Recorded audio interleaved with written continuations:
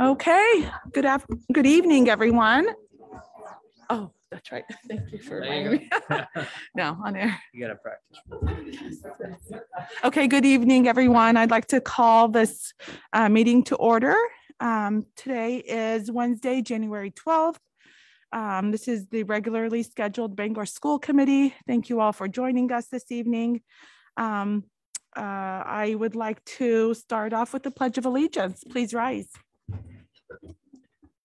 I pledge allegiance to the flag of the United States of America and to the republic for which it stands, one nation, under God, indivisible, with liberty and justice for all. Okay. Superintendent Tager, are there adjustments to the agenda? Yes, there's one addition. It is uh, letter D, 2G, an update on CDC guidelines. Okay, excellent. You want to take the vote on that? Okay, and um, can I get a motion on that, please? Second, Okay, all in favor? And I think we have to do a roll call vote. Yes, roll call, please. Uh, Chair Hassanien, Yes.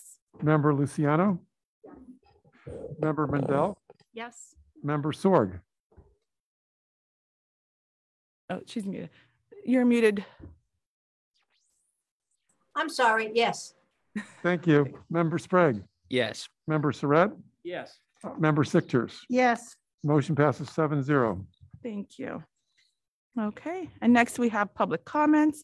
And just a quick reminder of our statement. Members of the public may address the school committee for up to three minutes on school and education matters. Complaints or allegations concerning specific employees or students will not be allowed, but will be addressed through established policies and procedures. Public comments shall be directed to the school committee and be brief and not repetitive.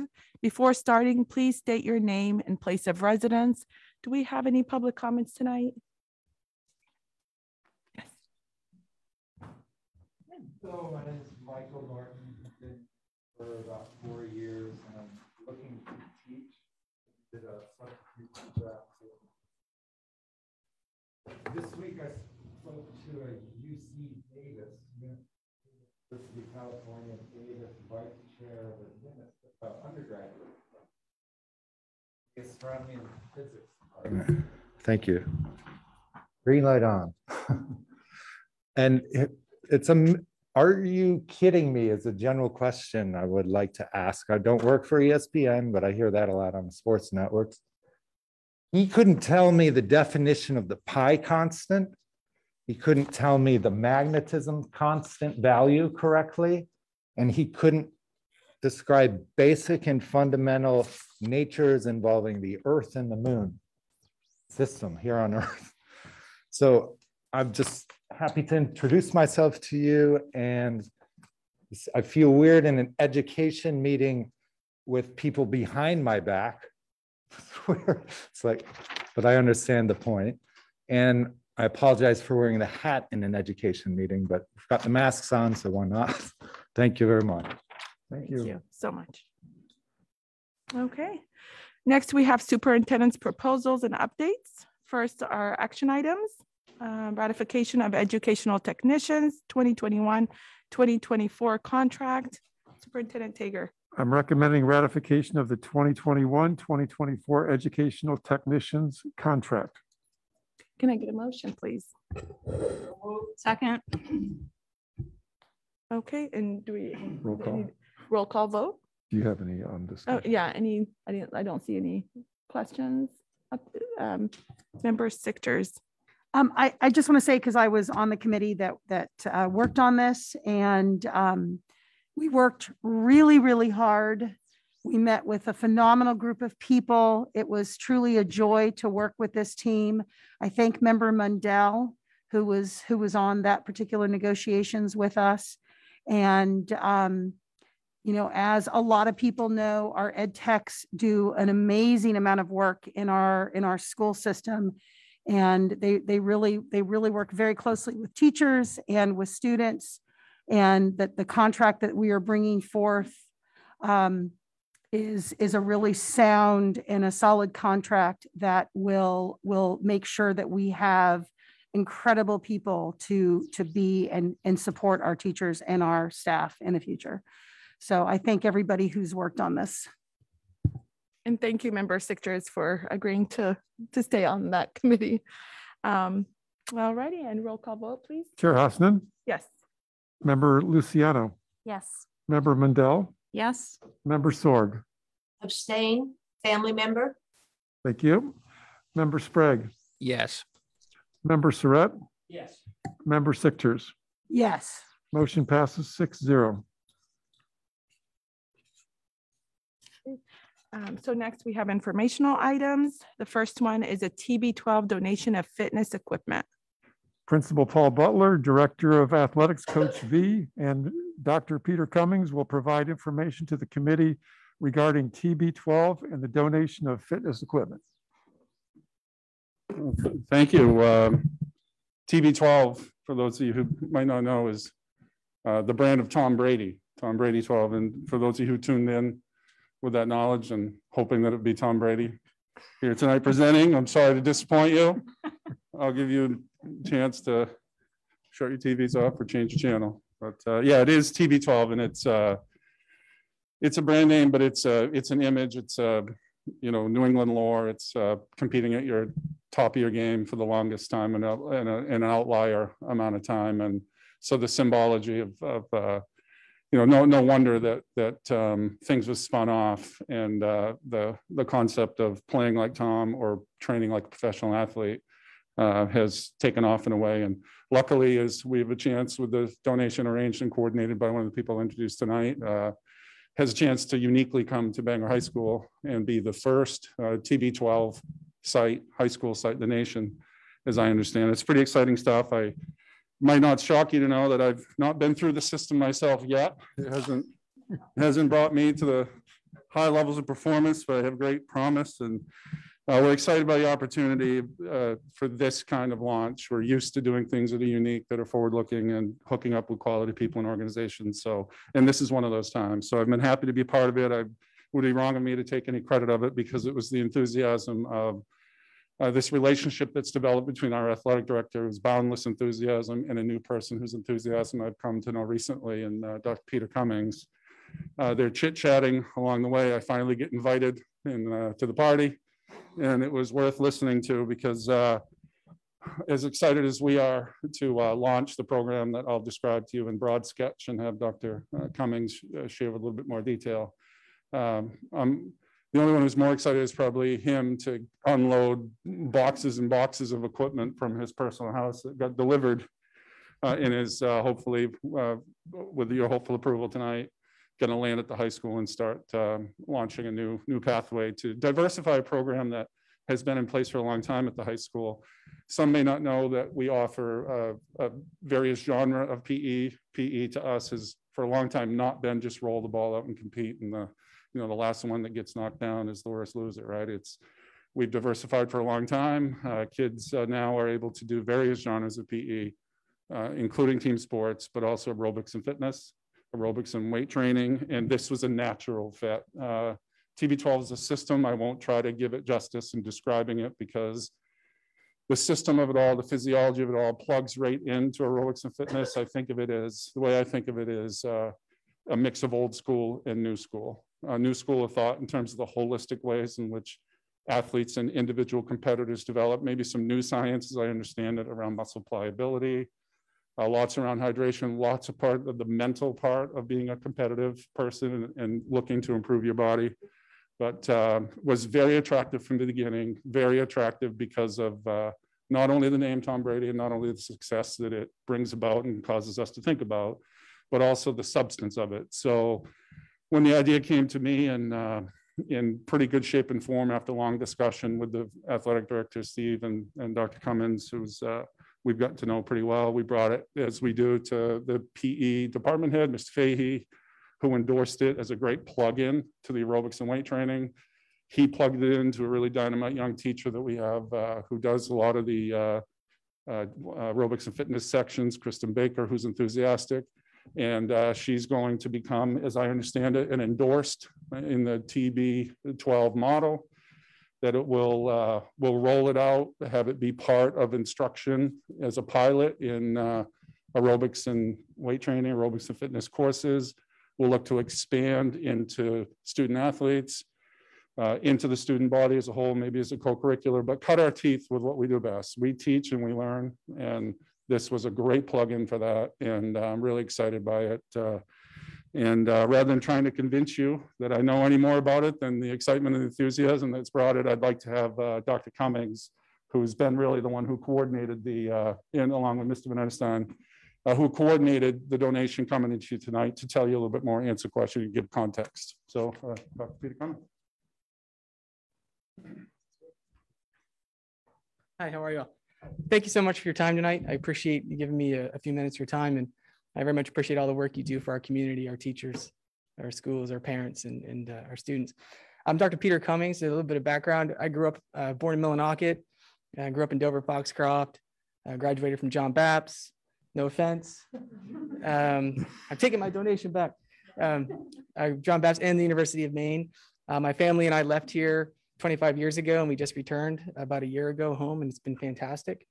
Um, through that journey, through medical school and training, um, I've at the end of this journey founded a nonprofit organization, a 501c3 called Veritas Sports Injury Research Network. And it is a nonprofit that's focused on um, bridging health disparities that exist between among socially and economically marginalized youth athletes. And most of my work uh, up until now has been in inner cities I'm trying to improve health literacy, um, which is a big predictor of negative health outcomes. And it isn't just producing educational material, it's finding access to material and, and all those sort of things I know you're aware of. How TB12 fits into that is it fits in very well with my philosophy of health education. And um, TB12, as uh, Principal alluded to, is um, more than just an exercise program. It's a, it's a lifestyle. And it's a, a, a program that's a very holistic approach to health. It involves not just exercise, but nutrition, hydration, sleep hygiene, and mindset. And so it's a great opportunity to have uh, educational material produced in each of those pillars for our students as we try to battle uh, inactivity, um, try to prevent sports injuries, and fight obesity problems in our school. Um, the donation comes through my nonprofit um, via TB12. Um, through my work, I've become uh, very close friends with Alex Guerrero, who's Tom Brady's trainer, who is really sort of the brainchild behind a lot of the science of TB12. And um, uh, they're very excited about this project, the first one in the country. I'm trying to see if we can get it into a younger population of, of people so they can grow up to be young adults and adults who make better decisions about their health, what they eat, um, how they sleep, what they drink, what they put in their eyes, what they put in their ears, um, all of those sort of things. So uh, I'm really excited to bring it here and um, bring something really world class that not a lot of people have access to in a region like this. So um, I think that's all I got to say. Steve?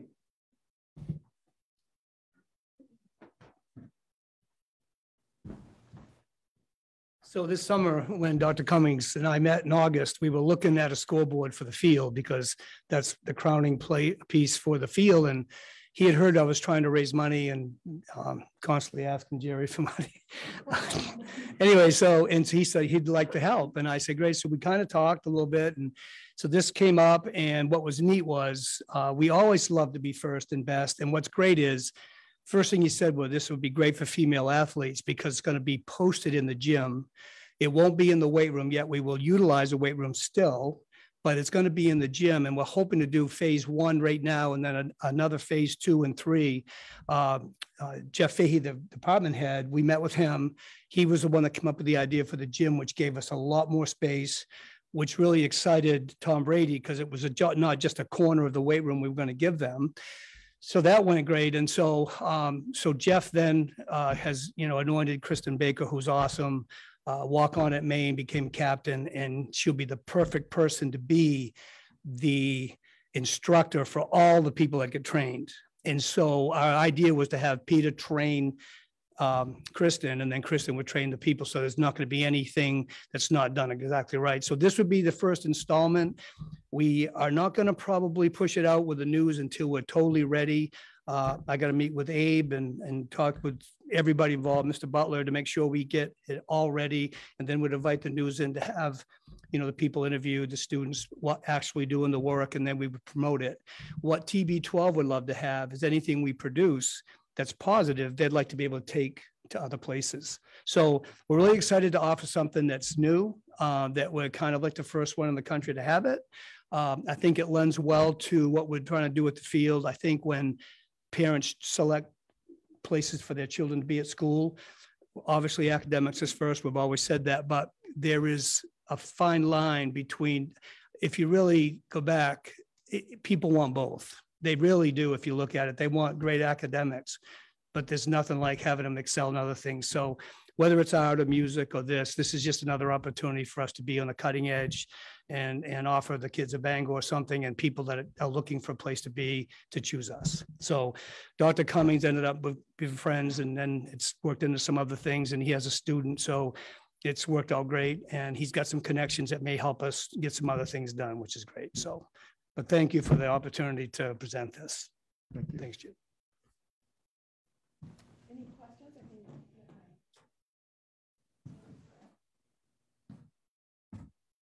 Um, yeah, first I, I want to say thank you. This is fantastic. Um, I just, I, I wanted to ask about how it's delivered. Is it, is it mainly delivered through physical education courses and through extracurricular activities? I just, I'd just be interested in kind of the nuts and the bolts of the delivery. In terms of time and place, yes. Um, If you have a chance, uh, you can, I'm sure, find a clips online of uh, how the actual apparatus is set up. It's uh, essentially a six or eight foot bar with um, a place to loop in resistance bands and uh, accompanying that are uh, customized uh, activities, sometimes down to specific sports movements that um, a, a person has worked through. And our image to start is, like I said, it starts with teaching and learning. Our image to start is that we have the local expert, uh, Ms. Baker in PE and health that really learns uh, how to implement it, the nuts and bolts, so to speak, of the, of the program. And that uh, beyond that, sort of like any other train the trainer, anything that gets, uh, gets some traction and gets some interest, we would go beyond that. So I would see it happening in particular parts of the day uh, in, in the curriculum uh, through courses and then maybe migrating into after school. And who knows, a faculty member or two may jump in as in the uh, put no promises on my half- behalf, but a faculty member or two might jump in and uh, be part of it. It's really designed to be, and you know, and, and I'll tell you, as innovative it is and as interesting as it is, we have shades of the parts of the program like resistance banding already in place, but this brings it into one shop. There's an there's an app. There's a sequence of uh, like I said, customized uh, videos that guide the person and the trainer along through the system. That uh, actually, I didn't mention this, so we have some interest uh, in maybe doing some beta testing, maybe having some uh, role that uh, some students that are inclined in STEM, or maybe students are in coding that have interest in uh, or, or athletes or want to train themselves or be part of the program. We've had some initial discussions about how those might roll in and be part of some uh, maybe a mini beta test. So originally during the day on the pilot level and then proliferating from there, provided that it, it delivers on the promise that we think it has. Thank you. And would, would Dr. Cummings mind a- answering that question? Yeah, I appreciate it. it's it's pretty much plug and play. It's it's a very easy system to follow, and uh, TB12 has very generously given me way more than I imagined. Um, hundreds of videos, uh, multiple pages of educational PDF material to be used for posters, um, handouts, things that can be uploaded. Um, so once you uh, once you, so it's not just equipment we're getting. We've got the enough equipment to do four separate stations. Um, they've given us vibrating uh, foam rollers for part of the muscle pliability work, vibrating uh, spheres uh, for more smaller muscle groups with instructional videos on how to use those. So the idea is you just open up your phone, you click on the workout, and it completely guides you through it. Um, so there, there will be a little bit of a, a learning curve for people because it is a, a kind of a different equipment and how to use it, but it's very self-explanatory. You can get the app and do it in your living room. Uh, it's very, very simple, very easy to use. So they've given us um, all the material to support putting it up there. And, and I, you know, I firmly believe that athletics isn't just participating in the sport, it's a community event. And um, we're trying to involve as many other people in this as we can. We discussed maybe getting some of the STEM students to upload the videos and code things and put it in, into a place where the students or even teachers, the faculty can access it using a, a employee ID number or something along those lines. So all the materials there and, and it's, it's, once you, once you turn it on, it basically takes care of itself. Great. And uh, is it okay if I ask one more question? Yeah. Um, I was really excited what you said about uh, sleep hygiene, diet, hydration. And, and it sounds like this program is very targeted to, uh, to high school students. Is there any, any chance, I, I may be looking far down the road, that, that some of that, especially those, some of those um, sleep, diet, hydration materials could be delivered to, to our younger students and, and Oh. really help to establish those routines from, from a young age and- and, and to families of young kids. as well. Absolutely. Yeah. Yeah, without question. And I, you know, I think that the younger you can get people started in, in that kind of mindset, the better. Um, you know, this has been traditionally targeted at grown-ups, um, adults, um, college athletes, um, and, and that sort of population. Mhm. And one of the uh, questions that's come up in my conversations with people at TB12 is how do we get younger? How do we involve people younger before they start forming bad habits? So you can definitely take the material, distill it down to start into junior high school level very easily. It's very, very easy to understand. It's Exciting. Yeah. Thank you. Anything else? And Member Sprague. I just wanted to offer enthusiastic word of support and gratitude. Appreciate the generosity and it's good to have you back in the area and uh, look forward to building relationship with you. And I think, I think this is just wonderful. So Great, look thank- forward to seeing it roll out. It's good to be I'm coming for a workout. And, and I echo the sentiment and thank you for all, all of your support and hard work. Um, I'm interested in the publicity too, especially with us taking the lead on the, something like this, something so remarkable, um, how publicity would look like and really getting us on the map as a Yeah. district. Um, you know, I think anything that the TB12 organization does automatically generates a significant amount of interest nationally. Um, and I think once, uh, you know, this really great story of trying to help our young students um, become better performers at everything they do in life, whether it's school or, or athletics, um, once that story comes out here in the local media, that will certainly be picked up, um, given the brand that, that we're associating with. Excellent, Yeah. thank you. Member Mundell, oh, and then who was first? I'll oh, Okay, be- Member Luciano. I- This is very exciting and I'm very excited about all of this, but I will be a little bit of a bummer here. I think this is also a great opportunity for our kids to learn about data security and their personal data and how if we're going to be using apps, obviously there's going to be logins involved for tracking and how this is a really great opportunity for us to make sure that they're aware that their personal digital footprint is a real thing that can be easily mishandled.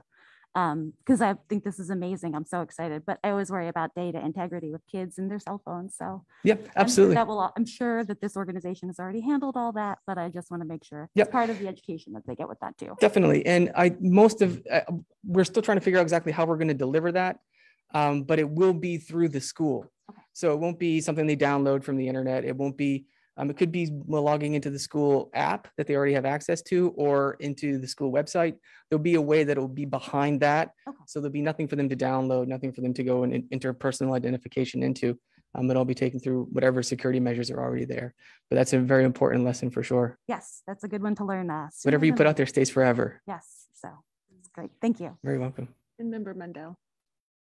Yeah, thank you so much for the generous donation and welcome back to the area. Thank you. Um, given that this is this is the first in the nation Mhm. um, for use in a school, is that right? That's correct. Okay. Is there going to be any um, data collection on like outcome measures for how the kids are No, using it? not, or- not yet. You know, data collection in terms of, um, you know, there's a ton of research that can, that can be done with this, certainly, and, and, you know, at the more elite level, where you're looking at recovery times from rotator cuff injuries or ACL tears. Um, there's a lot of research in there. Um, but what, you know, what we're trying to do here is looking at um, a general wellness, and there's not a whole lot of statistical points for that. In some of my work I've done in inner cities with not with the TB12 stuff, but similar sort of interventions with education, as partnering with um, um, the Jerome Bettis, the Bus Stops Here Foundation in Pittsburgh, and the Zach Ertz Family Foundation in Philadelphia. We did a thing with the Steelers and the Eagles um, during one of their games in those communities, and we saw uh, tremendous uh, changes in rates of school suspensions dropped. Um, we had a um, great increase of completion of high school. And those are not quite such similar problems that we have here, um, but those out, positive outcomes are definitely part of that education process to it. And how you measure that um, with this at the beginning stage, um, I don't think anyone has really we thought about. It. We want to see the biggest metric I think I'm looking for, and I think they're looking for, is how many people get involved, and is there interest, and is it really worth taking this um, across the nation to see if, if kids at this age are going to be interested. I think that's the real interest point. Can we can we pique their interest in their own health? Yeah. Yeah. I guess that's what I was getting at in terms of like knowledge about health behaviors and um, you know, from before they engage in the program to after looking at before and after data, something like Yeah. that about their their knowledge of their body and Yeah. How it works and all that stuff. That could be easily be done by somebody at the school who was interested in doing that kind of research. Uh, Yeah, I'm just thinking about the STEM kids who are always looking for research programs and they have a whole research um, research uh, class sequence. So I don't know if it does science fair anymore. There's a ton of science fair projects in there. So yeah, we do science Yeah. fair still. there, Yeah. there you go. Thank you so Anybody much. else? Thank you. Okay, that was wonderful. Um, next, we have an update on Bangor High School schedule. Yes, uh, Principal Butler will update you on the Bangor High School schedule. So it's a continuation of the last time I updated the committee. I don't recall exactly when it was, but. Oh, I think so. You, you will during the donations. Okay. Sorry. That's okay. Uh, So, uh, yeah, we've uh, updated the committee uh, uh, when we were near the point of making the decision about what the schedule arrangement would be. And I'll preface the comments tonight with the same preface I made before, how you use your time. It's your most critical resource. uh, How you use your time in the schools. uh, One of the biggest factors, maybe the biggest factor in uh, outcomes for kids and certainly in a class. And um, so we spent uh, the fall, had pulled together a committee, very representative, met several times, broke off into a couple of subcommittees. You might recall me describing it coming to basically two, two not competing models.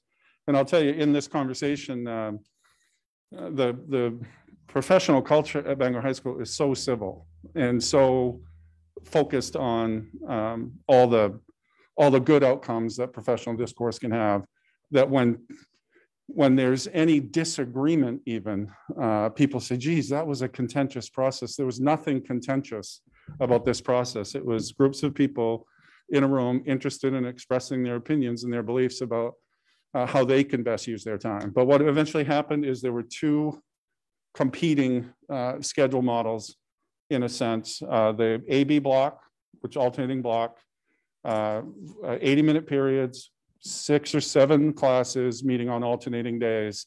It uh, became a, that was a schedule that was in vogue for, in high schools for a lot of years, still exists in some, and um, uh, has been successful. And what I would say, and one of the things that kind of the founding elements of our discussion of the schedule, kind of the, one of the entry points was awareness that research can tell you uh, great things, obviously well-conducted, well-structured juried research, can tell you about whether or not something is effective. And there's an equal body of research.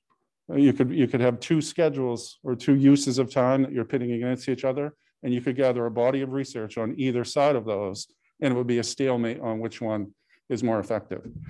And um, so anyway, it did come down to a couple of different models, the AB schedule and some version of what we had for many years. What, when I was a student at Bangor High School, we had an eight period day of shorter classes.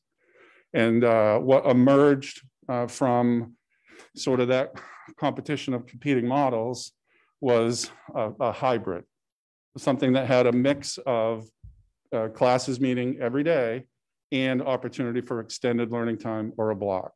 And that's ultimately those two models got to a point, and I thought it would be good and helpful because the superintendent, the assistant superintendent want to be involved in, in the conversation and the decision. I asked uh, those who sort of represented the two, two schedules to do a short video that represented the merits of each, um, along with some graphics. And then it was uh, understood that at some point on the other side, once the videos were done and the meetings were held and the discussions were, were rendered, that it was going to be sort of an administrative decision. I'll tell you what, that it started out 51, 49. It might have gone 49, 51 on block schedule or meeting every day. Ultimately, we landed in the middle. Good, thorough, helpful conversation and discussion with the assistant superintendent, superintendent. And what we landed on was a schedule that was a mix, a modification of the eight period day that has two days a week when a 40 minute period when, when classes can meet for an extended period. So the long and short of it is students will, on three days a week, they'll have their, we'll have an eight period a day with the requirement that students are registered in six credit bearing classes at any one time. And there'll be two days a week when each of those classes meets for a block. Uh, so for example, uh, on a, on one block day, you know, what you would describe as period periods one, two, or one, uh, four of the periods, four of the classes will meet for double the time.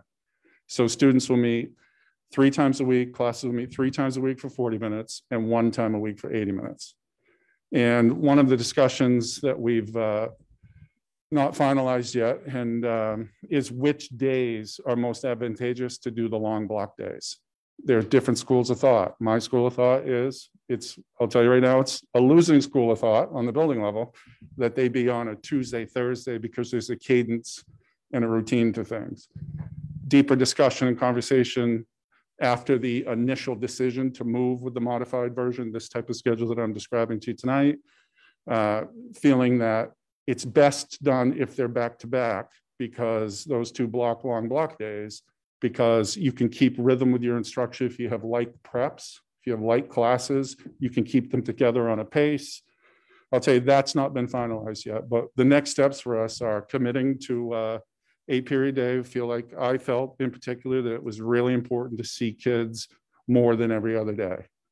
And that uh, seeing kids more frequently, but also building in the time and seeing the value in an extended learning period uh, rolled into a week was also important. So we met in the middle, uh, just like any other decision. There's some that might be disappointed. There's some that would be happy, but I've uh, I'm I'm just confident that on the other side of this, we'll stick to our pledge throughout that we had as a group. That no matter what the decision is, we'll get behind it with the understanding that uh, developing and maximizing our time is uh, important on the other side. Any questions? Member Mundell. Will you continue to have advisory every day? Yeah, so uh, that's one thing I'd like to mention. Yes, thank you. So we'll be, not every day, we'll build advisory into every long block day for 20 or 25 minutes. And we've also reserved, one thing that we started doing uh, four or five years ago is, and I always misspeak about this and present it in a way that's a little confusing. I'll do my best not to do that. Uh, four or five years ago, we started doing late start days. When the weather was tough in the morning, we might start at nine o'clock. That had us fiddling around with the schedule, having classes that were a little bit shorter to accommodate for the missed hour in the morning, but every class meets. Uh, I do think there are times when an extended advisory, more than two advisories a week will be necessary. So what we said is we'll borrow that, that um, uh, late start schedule to accommodate a longer advisory, either in the morning at some point during the day. So if you have a 40 minute extended advisory, you can shave a little bit off each of the courses. Everybody still meets and you can still do a critical advisory ad hoc. But I would say planfully, uh, because we know the cycle of the year when when advisory extended advisory time might be might be critical. Okay, thank you so much. Thank you. Uh, Next, we have Johns Hopkins summation report. Yes, Title IX and Affirmative Action Officer Dana Carver Bialer will explain the summation report of the John Hopkins School Culture Survey 360 that was completed this fall at Bangor High School. Perfect. Let me see.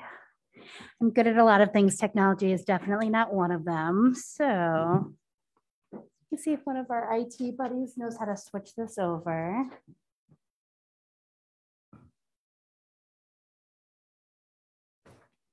Thank you.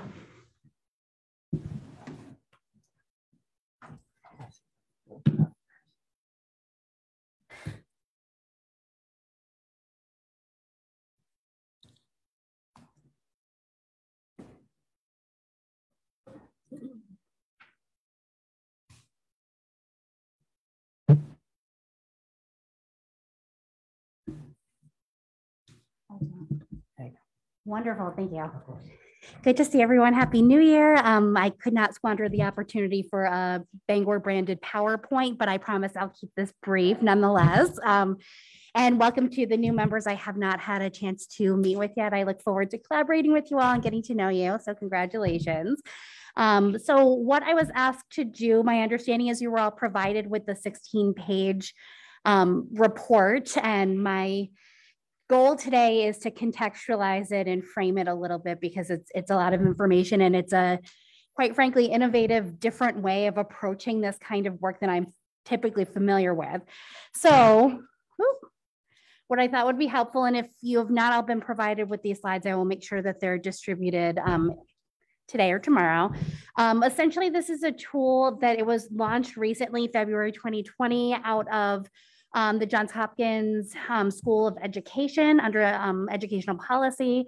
Um, and what they really look to do is merge the traditions of, from my understanding, of needs assessment, curricular assessment, equity auditing, um, feasibility studies under the umbrella of school culture. So they, what they did was created and unfortunately blocked on that screen, but um, a five sphere um, domains of looking at school culture under, the umbrella of quote, um, identifying the alignment of a school's mission with its practices and determines whether a school's practices correspond to those we know support academic achievement, social and emotional well-being, and civic formation. So the five areas that are these domains that they um, seek to look at through the survey mechanism is academic um, emphasis and excellence, whole student development. So that's really merging the social emotional learning and um, civic engagement and efficacy, organizational coherence and identity. So looking at that mission practice alignment, um, sense of belonging. So the idea of communality. And finally, the administrative support and governance piece. So looking at the trust and support among the adults within the institution. So how did we jump into all of this? Oh, there we go. Um, so the Maine Curriculum, Leaders Association, um, coordinated an opportunity for member schools across the state to administer the School Culture 360 tool as part of a cohort experience. Um, while Hopkins rolled this out in February of 2020, the first wave that was launched included 26,000 um, participant um, surveys. Um, this ranged across geography. It ranged um, K-12 public and private institutions. I'm going with my best understanding of it without being um, a representation of Hopkins. I'm a representation of Bangor. Um, but I really wanted to make sure we understood the process and the outcomes of all of this. So we participated um, within this cohort-based system through MCLA. we launched in 2021 um, November, thrilled to report we had the second highest participation rate of the 30 member schools. Some schools participated um, in all of their buildings and some it was just one specific school. So we participated as Bangor High School, not Bangor School Department.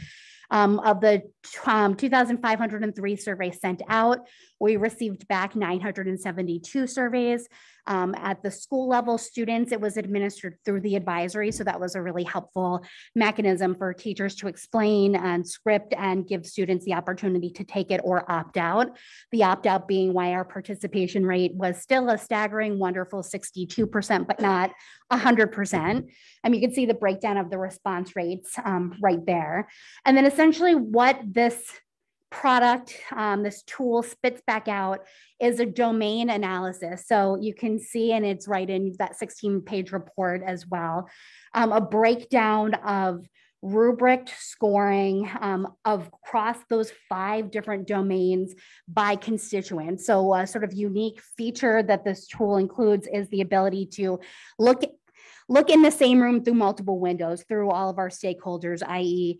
um, administrators took one survey, teachers and staff took another survey, students took another survey, and parents were given a final fourth survey. Um, the important thing that when myself, Superintendent Tager, Assistant Superintendent Harris-Smedberg, and Bangor High School um, administrators were trained on how to interpret the results. Um, ironically, different than the A to F, zero to 100 scale that is the currency we all speak in. Um, it is not the same as that. So um, they had really characterized any numbers 40 to 50 or above, you're looking good. And the bigger thing that they really described in terms of analyzing this, it's less about the number and more about the alignment of the numbers or the gaps between the numbers between the different constituencies. Does that make sense? Okay, I'm probably speaking quickly, but I don't want to take up an hour and I could definitely be accused of doing that. Um, so that's sort of way one to look at this kind of tool is looking at these different numbers and where the gaps are and where the alignments are. Um, similarly, jump to the next thing. Um, this is the breakdown, the, the 16 page document you have breaks down by the four different constituencies three identified strengths and three identified weaknesses when it algorithmically came to understand all of these things. So, what the questions did, um, it took the five different domains and then it had in each of those domains, um, they were called subscales. So, each of the five domains had anywhere between four and 10 subscales. So what you see up here without getting far into the weeds, um, each of these constituencies, the report spit back out um, three strengths and they provided the um, domain. So the three letters you'll see are the abbreviations for the domain, and then in the parentheses, the subscale that it fell into. Um, from there, what are we going to do with all of this? We're looking for themes, we're looking for alignments, and we're looking for gaps. Um, so a few, we have not dug profoundly far into this. We were just provided this information recently, but with the DEI, Diversity, Equity, and Inclusion Advisory Committee, namely the Equity Audit Subcommittee that Member Mundell and I are both on, um, we're really looking at those alignments and those disconnects just from an initial glance into this because I really like working with this kind of data. The first thing I saw is ways in which um, there were similarly identified themes. So this is just a really brief example of there were two different identified strengths, one that students and teachers aligned on. This was under the communality domain and the racial climate subscale.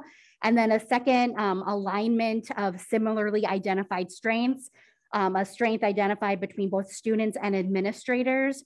Um, this was under um, the fair and trustworthiness subscale.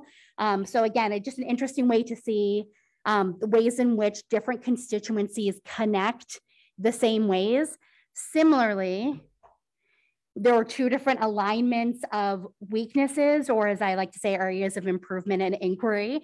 So one way is looking at how students and teachers both identified, again, under communality, um, wider community engagement subscale. And these will make so much more sense when you read through all of it because it's a lot of words. Um, but similarly, there was another weakness that identified that was identified between administrators and teachers. Again, communality seemed to be a really big one for Bangor um, around conflict and bullying resolution. Um, finally, another theme that I felt is, is equally important to bring to light, um, I think ways in which we agree on things across constituencies. It's equally exciting and thought provoking to look at ways that we do not see things the same. So just as an example, administrators identified um, along the holistic development domain, civic formation subscale as an area for growth versus parents identified it as a strength.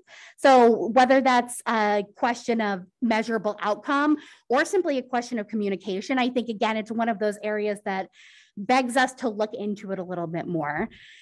So in short, um, how the heck do we use this tool and what do we do moving forward? So a few initial just thoughts that, that I had. Um, we're, we've looked at this as a preliminary initial fact-finding, theme-finding inquiry. Um, we're looking forward to further conversations between myself and our superintendents and us as a team back with the Hopkins experts as to how to better use this and better process the information and dig in even deeper. Um, we're then taking that information gleaned and working through it on more of a granular level with the DEI committee. Um, and then looking at what are the recommendations and what are the additional ways that we want to understand this material. I think I think like any survey mechanism or any research tool, there are limitations, right? And this is more of a quantifiable algorithmic tool than I use in my qualitative brain, but it's a really good tool, I think, to use. It's evidence based. When I was looking through, was my, a skeptical person. So when I was initially looking through the, the theory behind it, it was like reading through grad school syllabi all over again. So it really is evidence based across civic efficacy, political science, social psychology, organizational structure, canons of research. Um, so that was reassuring and exciting. But again, we really want to know what do we know from this and what are the questions we don't have and the answers we don't have and figure out other modes to really dig into this climate work because I think the climate piece is really it's an overarching umbrella to get to how are we creating good model citizen adults um, that come out of our school district? And how are we operating from pre-k through 12 with equity mindedness and looking to alleviate those those achievement gaps and um, all of those really important questions that we seek to answer? So um, I spun through that very quickly, but I would be thrilled to collaborate with any and all of you on next steps with this. And for this and all DEI and affirmative action and Title IX things, please um, never hesitate to reach out. Woo, that's what I got. What can I answer? Thank you. That was wonderful. Um, Member Luciano. Hi.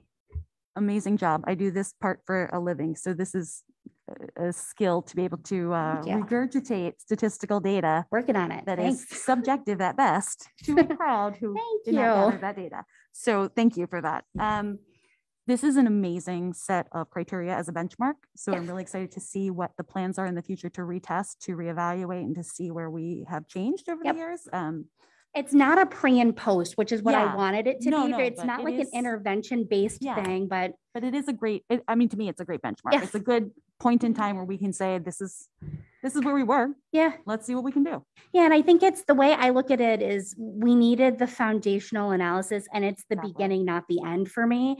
And it's an- a really exciting beginning. It's an impressive beginning.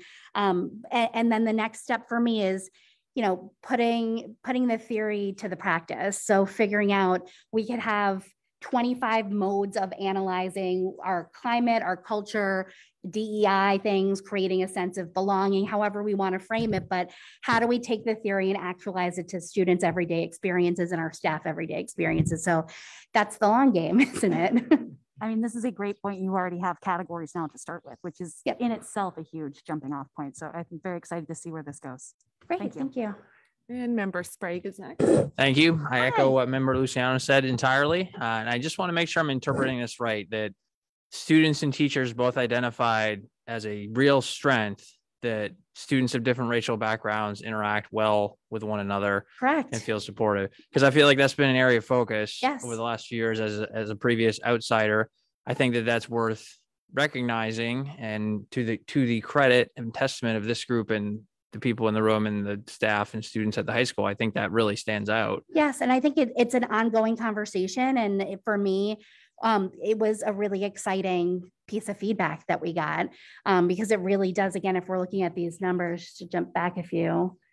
Um, so we had 747 students participate in it. Um, do I take that strength alignment to mean like, great, we're, we're good? No, because it's, this is always going to be um, an uphill battle and an ongoing commitment that I'm thrilled that we as a, a district have made. Um, but yes, I, I think that it was a really exciting piece piece to see. So yes, Great. And I appreciate the last comment you made too, that it doesn't mean everything's fine and Yeah. we're done. It's an ongoing thing. Yes, I would love to to phase myself out of business and there be no need for uh, me in a district, but I don't I don't think that's necessarily realistic.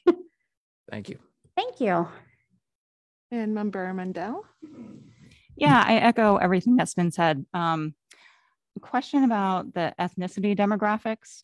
Um, do we, could we look at, uh, you, I know you can't do this right now. Yes. But can we see, um, in terms of the, the, the kids who participated, the racial breakdown of those kids versus the racial breakdown of the, of the school as a whole? Yep, that's a great question. Yeah, just to see if we've got adequate representation from each group. Yep, yes, and we can definitely parse through that. The question that we, that I have, and I know we have moving forward is um, if there's a certain percentage or number, whichever is greater of students or any constituency that um, answers that's uh, too small a number to guarantee um, maintaining fidelity and maintaining anonymity, um, then they they they disaggregate it and we can't see that granular level.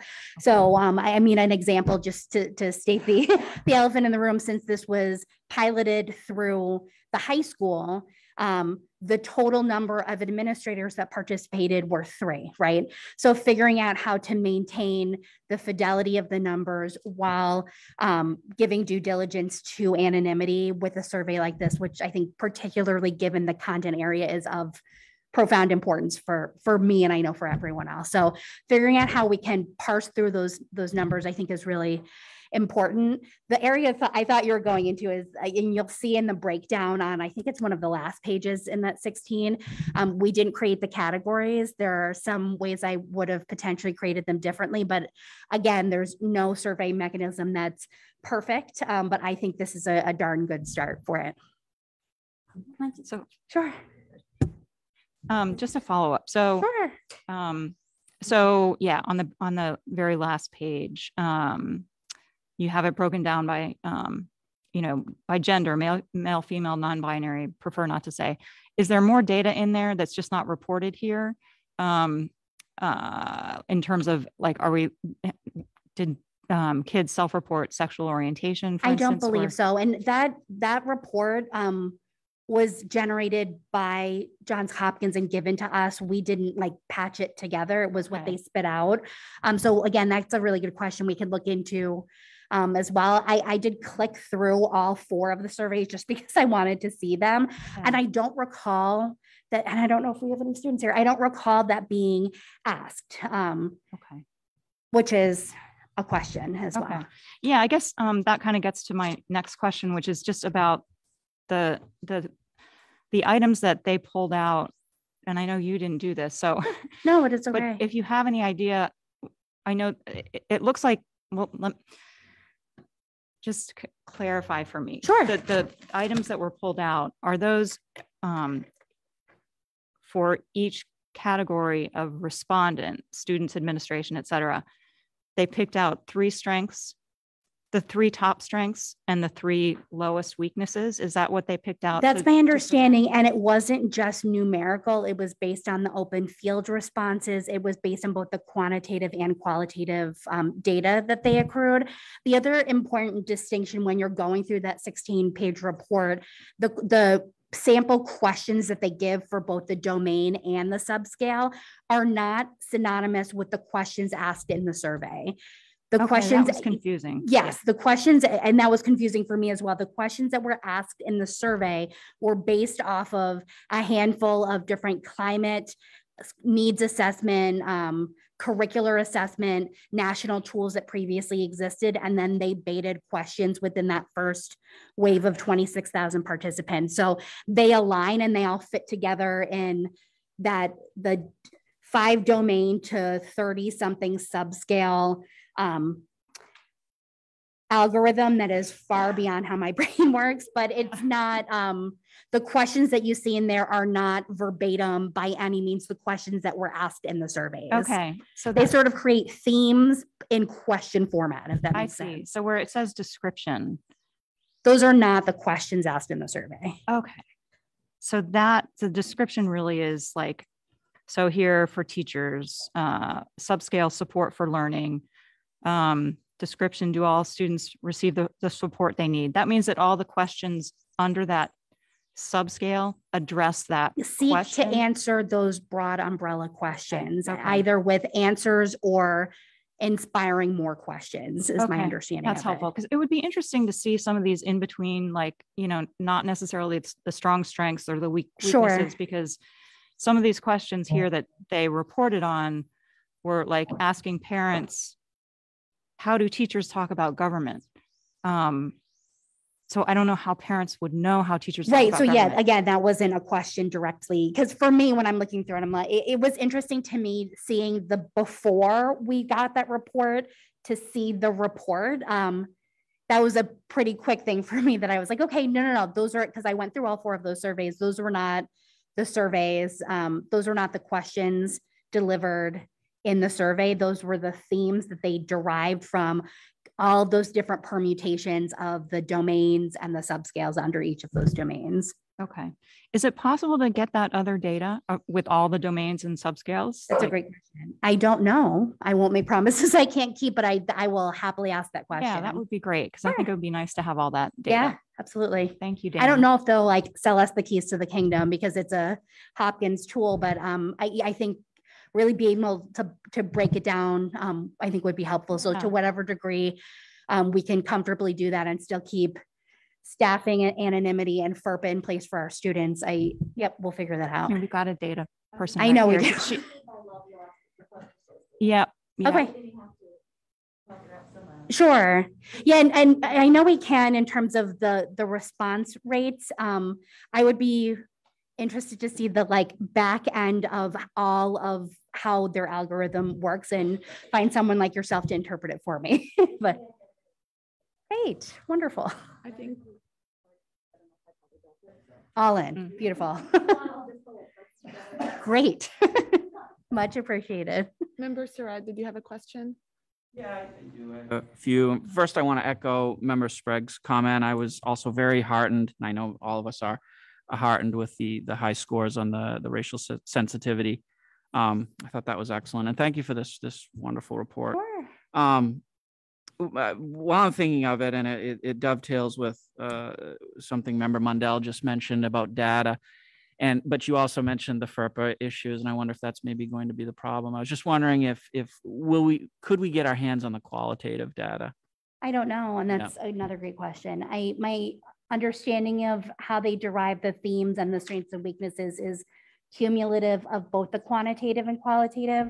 Um, but I, don't know the how piece of that. So looking into that, um, that's certainly a, a question I will happily bring up. Perfect. Yeah. And, and this was more of an observation. I'd be interested if, if perhaps you've already noticed it. I just, I think it would be an interesting line of inquiry. Um, I, I noticed the strongest strength for administrators was the score for the descriptor.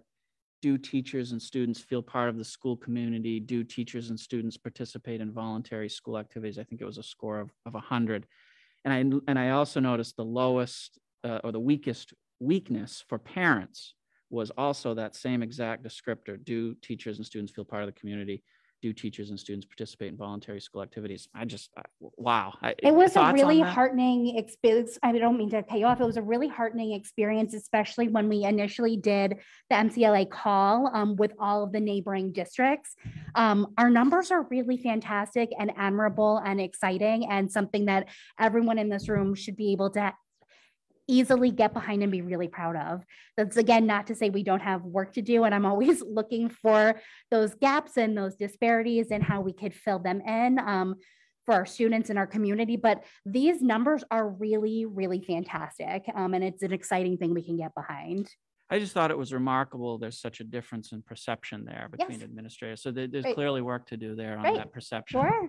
Um, piece. And I, I just, I thought that was interesting. Last, last thing, and Sure. I don't, I don't know if John Hopkins Institute for EDU Policy, I, I was wondering, do they have examples that they could provide of, of, you know, here's, here's what other school systems have done with this report and, and sort of that whole next steps piece? The, I can see what other like sandbox versions they have, but they do have, and I'll be sure to send it along as well. If you just go- even Google um, School Culture 360, Johns Hopkins University, um, their page immediately comes up. It's a short page on the very bottom of the page. There's a 50 minute webinar um, of, and this was when it was in that first initial stage. And they do show different screenshots and they describe very clearly this is sample data, this is not a real school. And then they jump to this is one of our aggregated participating schools. Um, so they do provide, and it's a really good explanation for how to interpret the domains and subscales, and it's using real data. So it's a really helpful tool to get what this is, and again, what it is not, because it can't be both, right? But yeah, I, I'll see if there's may potentially another sample report or some other example they can give us. I'm not sure. It would just be amazing to find a peer institution, right? Sure. Something somewhat similar. A comparable demographic school, where yeah. has Been used. Yeah, Thank you. absolutely. Of course. Any other questions, Member Mundell? Um, yeah, i- if you could get us those slides, that would be great. Sure, Um, sure. I, I forgot my glasses, so I can't really see that well, but. Sure. Yep. And I'm certainly guilty of lots of slides with lots of letters and words on it. So I'll make sure to, to send it along. Yes. Okay, and one more follow-up, just a comment.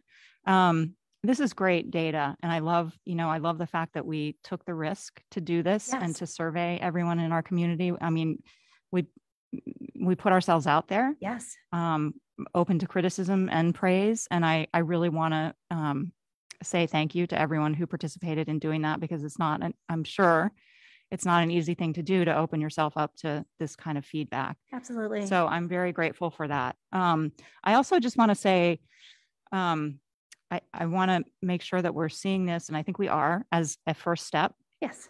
I think there are a lot of other sources of data that we need to look at. Um, one thing that I would particularly like to look at is um, various outcomes, student outcomes, you know, just raw data. This is not subjective data, but just Yes. raw data.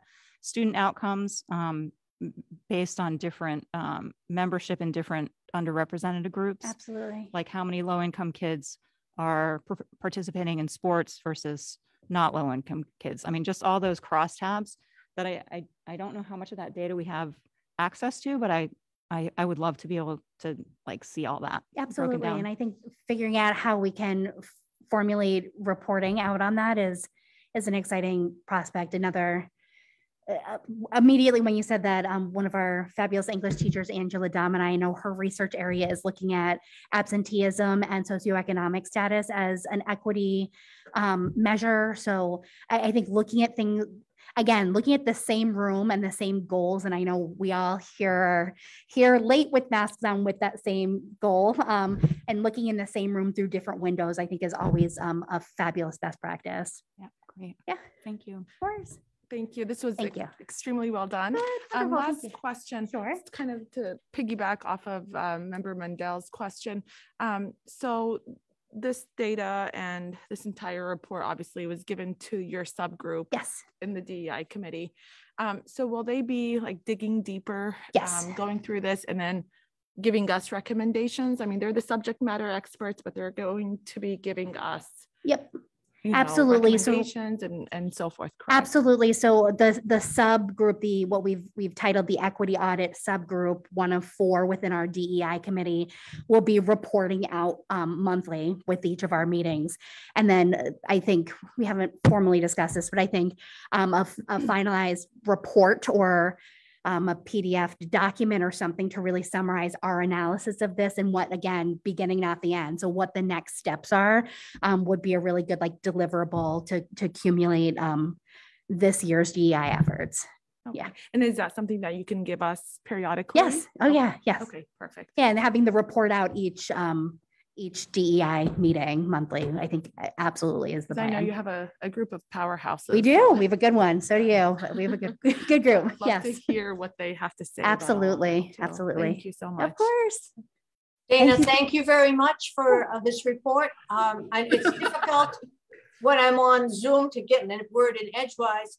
Um, Your presentation was very good, and I also look forward to see where all this data is going to take us and how we are going to apply it to our school system. So I thank you very much. Thank you. My apologies for having my back to you, members. for Hey, that's time. the, that's the name of the game here. Yes, Wonderful. Thank you. Yep. Excellent. Okay, so moving on to our next item, FY twenty-three budget uh, filters and budget timeline. Yeah, I'm, I'm going to review very quickly the uh, budget filters and, and timeline for all of you. And Dana, thank you for your presentation. Um, just to kind of give you guys a, a overview, um, our proposed operating budget for the Bangor School Department will be submitted by myself and Jerry Hayman to the school committee in, in March. Um, four filters that we look at, and this is all within your packet, so I'm going to do a quick overview that we will be look at in developing our budget are what is needed to continue our pursuit of academic excellence for all students, what's in the best interest of our students, what is financially responsible, and does the budget move us toward the 10-year strategic plan? So one example I, I can give you just to, to um, kind of make this more understandable is we have a pre-K full day at Vine Street right now. Um, to give any of you that were asked a lot of good statistical questions, 43% of the students in that pre-K full day program are already at end of year academic progress. And in our five-year plan is to expand our pre-K to full day. So one of the things in the budget that we will certainly look at is can we add some other schools besides Vine Street for next year and replicate that success? So that kind of gives you an idea of some of the conversations we're having right now. The timeline, you have this in your packet as well. Um, January the 7th, requests were submitted to business office from our directors and from our principals. During January, it says TBD, to be determined. Um, I'm reviewing the staffing analysis with administrators. So today, Jerry and I were meeting with principals, we met with directors, and we'll be doing that throughout this month. And we're kind of asking them um, for what some of the things that they want moving forward is. And at the same time, we're talking about from the state, we really don't receive information from them that pertains to our budget till the end of February. So it could be from what would you really like to add to what are you going to do if we have to cut 10%? So we're kind of wanting to hear what they want, what they desire, and at the same time being thoughtful about what our money might be. We've done a, um, obviously a pay raise for teachers, ed techs. We're working with our support group now. So there's a lot of things that are kind of being dealt with at the same time, but we're having good conversations with principals and they're all bringing good ideas to the table. Uh, February 16th, we'll complete reviews of the 2023 budget request with administrators. So that's about the same timeline as we hope to hear from the state more information about our budget. March 23rd, we'll complete the first reading with the school committee. Uh, Jerry and I will be presenting the budget to you. And then you'll have a second reading March 30th. April 11th, it's submitted to the city manager, and then they will do two readings on May the 22nd, May 2022. So just to kind of give you a update as to where we're going. Uh, when I came into the job, I kind of walked into the end of this last summer. We had a little bit of extra money that we had to make a decision on that came back from the state. So this progress process does take quite a while. I just kind of want to let you know where we are right now. Jerry, is there anything that I missed or anything you might want to add for the school committee? You've done a great job explaining. Jerry and I have spent a lot of time together. We met with the city council the other night and had a very good discussion. So I'm, I'm learning from Jerry along the way. So thank you, Jerry. Any questions for Jerry or- or myself? Okay, thank you so much. Uh, Next, we have a report of reassignments. Okay, I'm reporting the following reassignments. Kelly Ellis, music teacher at Point Five Fairmount, Point Four Mary Snow, and Point One Bangor Regional Program to Point Five Fairmount and Point Five Mary Snow Schools. Thank you. And next, we have report of resignation. I'm reporting the following resignations. Sabrina Illingsworth, IEP Coordinator, Bangor High School. Carmen Curry, Special Ed Department Head, Bangor High School. Nicole Pinkham, Special Ed Department Head, Bangor High School. And I just had a quick question. So um, with the, re- these resignations, it seems like the three are from the exact same department. Are we opening or looking for replacements uh, for these? We are.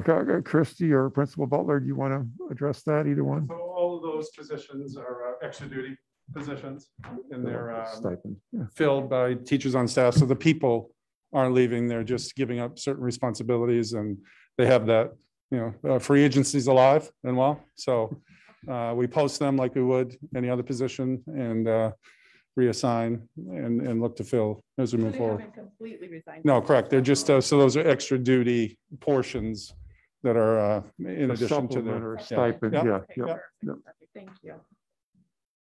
And then next we have an update on the CDC guidelines. CDC is changing every single day. Uh, Special Ed Director Christy B- Babin will update the CDC guidelines, and I see she brought one of our nurses, Susie is here, and Susie, I want to say that you are a hero, as are our other nurses. They are doing an amazing job for us. Yes. Um, I can, I can update you on a few things that we've done in the school department since the CDC has um, changed their guidance and the standard operating procedures have been adjusted at Christmas time and again today. Um, and I'll let Susie speak to that. But a couple of things that we've done um, over the past couple of weeks, we're looking to, to bring pool testing here to City Hall for central office staffing so that we have another mitigation for staff here. Um, we have also started working with the um, Bangor Public Health to offer the booster clinic for students 12 and ol- older. We're going to be doing another, another clinic at William S. Cohen and the James F. Doughty School to get those boosters into kiddos. And we're hoping to schedule that um, mid-February before February vacation. The other thing um, that we have partnered with one of our area um, offices. They're not open to the public for um, COVID testing, but they have partnered with the school department. So staff who need to get a COVID test can get a rapid or a PCR. So those are good things that No we've put into place at no cost. Yes, at no cost to the staff. So we have pushed that information out. Principals got that out to their staff. So staff have another layer of protection. Um, But I'm, I'll stand up here with Susie so we can go back and forth, but she really knows what the CDC is, is asking. So um, the guidance that changed over break, um, first isolation time and quarantine time was lessened. Um, If there's a positive case, they have to isolate for five days now and improving symptoms and no fever without fever reducing medication for 24 hours. Um, They did that because um, the new variant is more infectious at the beginning two days prior to symptoms, and they say two day, uh, two to three days after symptoms start. So to get kids back in school sooner, we do, once the five days of isolation is up, we do touch base, make sure that they are truly improving. If they're not, we, you know, assess them on a day-to-day basis, and we wouldn't want them to come back to school if they weren't well enough to be there. Um, as far as um, quarantine goes, that's a five-day also. Uh, Today, the guidance changed since we do universal masking. Um, We no longer need to contact trace. So you won't hear from me as much. Um, With that said, we will be, um, you know, putting a push out to make sure that people are staying home that are symptomatic and get tested. Um, Also, with, um, they have a new um, exemption um, with masking. It used to be that if you were a community exposure, you had to quarantine at home. Now with um, universal masking, it doesn't matter if the exposure was at school or in the community. You can come to school and participate in school-based activities. With that being said, if it's a continuous exposure, such as if there's a positive in the household and you're asymptomatic, you can come to school. Um, so we really stress that when we talk to families about their isolation period. If there is someone in the household that, oh, they had a headache, keep them home and have them tested. Um, so there's that. Um, as far as pool testing goes, there's still um, a number of people pool testing, even with all these exemptions in place, just cutting down on transmission. A lot of our teachers that are fully vaccinated are still doing pool testing. Um, I don't know if anyone wants me to touch on pool testing, what that looks like. Okay. Um, so what we do is we have a pool of people, doesn't matter classroom or, you know, it's a mix of people. Um, they do a PCR test, send it in a tube all together. They're not identified. Um, get those results of the PCR. a PCR test can pick up on a viral load that um, is said to be not infectious at that point. Um, and we get the results 24 to 48 hours later. If the pool is positive, we do a rapid test on all those people in the pool, identify um, the positive and send them home for isolation. If we do not pick up on a positive that day, um, for whatever reason, we do it again the next day, the next school day. If we don't at that point, then we proceed and just start the, the pool testing the following week. This past week, um, we had, we did have some positive pools um, come in on Friday, which was a snow day. So um, the principals and the nurses um, emailed everyone who was in the positive pool, just in case families want to test over the weekend on their own or teachers. Um, and if they were still asymptomatic on Monday, come in and we, we tested them on Monday. So that's how that works. And that's how it will continue to work. Um, so beyond that, I think those are the biggest changes. Um, any questions for me? I think, can I share another Sure. key piece? Bus. The Oh, okay. busing is not a close contact any longer. So students riding on the bus, if there's, there's no close contact. in the bus. That's Because they're a, fully masked. Right. right. It's a federal requirement to be masked in public transportation and there's monitors on the bus, so they're all masking. And I've watched plenty of bus vid- videos. They are masking. So, and I asked um, Superintendent Tager to add this today um, because I get a lot of questions from community Mhm. members regarding exactly that. Do I still quarantine? How long? And so forth. So are we making this information, um, you know, really noticeable and, and just out there for families and students? Um, yeah, we'll ask um, Ray Finney to put a push out for that on social media and on the app and whatnot. Ray, Ray and Christine are meeting first thing tomorrow morning, so we'll all be updated on our website everyone and we'll seems push to it be out. Yep. Whenever there's a change, there's, you know, a lot of, a lot of, lot of questions. Yep. A lot of the school nurses have spoke with staff or sent emails explaining it. Because of course, if someone says, oh, their mom's positive and they're here, like, you know, And so with these latest updates, i- is it safe to say that we won't ever go completely remote unless we have? Well, it depends. We shouldn't, um, I mean, if we have a number of staff that are positive and we can't fill those positions. I we can would be able address to- that one too. Yeah, I- okay. I- Based on what we've seen for the last twenty-two months, I would never say never, for Right. number one, but I would tell you that um, we do have that as part of our plan. That's, that's on the website. One of the things that we have done through COVID dollars is we have a permanent substitute at all the elementary schools, two at the middle schools and two at the high school. And I think that's helped us too. So if we, if we were to have to go remote, it would be based on the lack of staffing. Because I know Hermon, I think, went completely remote. They had a, a number of staff members out. Okay. that makes sense then. Okay. And I believe um, member Sprague was first. so- Thank you. I'll just be brief. I think the pool testing is really going well. Uh, my second grader and kindergartner get tested almost every Wednesday, and it's just part of the drill. They know the routine. And honestly, it gives us a lot of peace of mind to know they're getting tested every single week. And we're always very happy to not hear from a nurse on come Friday afternoon. But I We think don't that take offense. Yeah. the compassion and care you show these kids is just really excellent, though, and we appreciate it. So keep up the good work. Thanks for the updates. Thank you. Who was next? Member Sychterz? Go. Um, yes, thank you so much for this update. I really appreciate it. Um, uh, I have a few questions. Um, one, so I have a, I don't know, an overly anxious junior high school student who is completely freaked out about getting COVID right now and it affecting finals. And she's like, I'm not going to be able to take finals and everybody's getting sick and give me three ma It's, it's kind of crazy.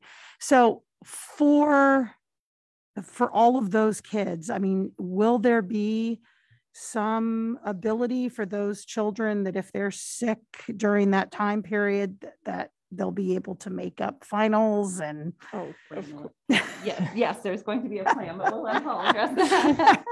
So uh, built into the routine is understanding that uh, by teacher discretion, a student that ends a semester incomplete, there's a week at teacher discretion that they can access to complete a semester, and that would include an exam. If there's a special circumstance and with uh, my approval or with uh, awareness of a formal plan in place, I think COVID would, would uh, apply. There's a two-week extension. And so we've got those systems. Those aren't new things. So uh, we'll make sure that any students in that situation, hopefully not, will be able to. We love to test them. We're gonna find a way to test them when we get those finals. Excellent, thank you. Um, and then my second question, um, I understand you had said what I thought I heard you say, but then I was, I think I was confused. If a parent, if there's a child in a home who is tested positive and their sibling has done a pool testing or a home test that's negative and they're not symptomatic, they are able to go back to school? Even not participating in pool testing, since we have a universal masking policy. Okay, fantastic. And then my, my third question, and I mean, obviously rumors are rumors. Mhm. Um, I've been hearing a lot of, yeah, so-and-so's coming to school sick, but they don't want to miss their basketball game, or they don't want to miss this game, and then they'll stop. I I mean, is can, it, I can tell you that um, when, if a if a child comes to school sick, I get a phone call from the teacher, We'll say, you know, so-and-so isn't feeling well. And, um, you know, we talk with them if, you know, and we assess them and we go from there. It's, thank you. Member Surrette. Thank you. And uh, my question is, is probably for Superintendent Tager. It's following up a little bit on what you were mentioning about contingency plans for, for staff members being out. And I, I, I know we don't have uh, as much control over this, but I, I always, I'm always worried about bus staffing issues. And, and I, last year, that was, that was the reason, the one time that the Bangor schools shut down was, was because of bus staffing issues thoughts on that? Conversations you're having with Sierra about that? Any any updates you can share and with I've- us? I've spoken frequently, a lot recently because of snow days, but so far, I mean, knock on wood, and I'm aware of what happened last year. We, we're short on drivers. They're looking to hire, but we have not had an issue that you're mentioning yet. You know, could it happen? Sure, but um, at this time, it's not a concern. Well, that's good to hear. Let's hope it stays that way. Agreed. Thank you. I only want, I just want to clarify one piece too. You, you mentioned a home test. Um, the CDC is not accepting home test for, for us in the school. So we're following the CDC guidelines. The Maine Department of Education has said that school departments may accept a home test, but there are many s- contingencies that go along with that. And as a school department, we have determined that we're not going to accept those. We're going to follow the CDC guidelines. I just wanted to clarify that. Yeah. so with that being said, uh, if someone calls and says that they're positive at home, obviously we don't say you need to come to school because we don't accept that. Right. Um, we give them the isolation um, days and what guidance to follow in that way. We, we cannot give them the 90-day exemption from quarantine um, that we've given people in the past who are, you know, if you've been positive in the last 90 days. For us, it, that wouldn't matter because they can come to school, but kids that are, you know, go to daycare and whatnot. So if they need that 90-day exemption, and we do encourage lab, you know, they get a lab confirmation. And those aren't reported to the, um, to the state as well. Any other questions? Thank you both so much. Thank you. Okay, moving on to business action items. We have action items, um, minutes for the regularly scheduled meeting of December fifteenth, twenty twenty-one. I'm recommending approval of the draft minutes of the December 15th, 2021 regular school committee meeting. Can I get a motion, please? So moved. Second, Any questions? Discussion? Yes, Okay, roll I do have a question, goes to point of order.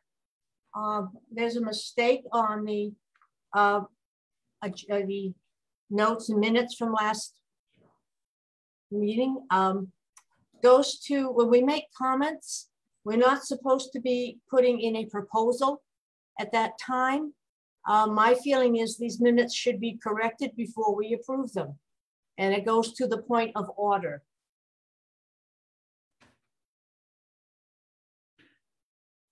Um, What's the correction she wants to make? Yeah. So what, yes, what are the corrections? Um, It should be that um, member Mundell's proposal on an advisory committee was made in the comment section and it should have gone under either um, superintendent's proposals and updates or business action items and not put in as a comment at the end of the meeting. That goes to point of order under Robert's Rules of Order. That should be corrected.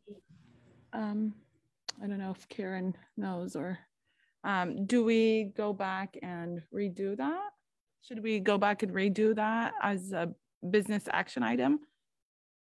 Yeah, I, I think that, that would be the only way that we could do it, because there is no other point in this, Exactly. in this actual agenda as it stands. Yeah. So perhaps that. That is correct, Karen, yes. that we put it in as a business action item in the next one for discussion so that we could vote on it. And that we just know for our next meeting, we, I would like to add this to the, Okay, so, and, and my question, I don't know if uh, Superintendent Tager, is that typically done that way though for committees? Like, She's, what she's bringing up is a, is a relevant point. Um, Member Sorg, are you good with bringing it up as an action item at our next business meeting? Yes, to amend the minutes so that, that they are correct, yes, At, at our next meeting, correct? And that is correct. Okay,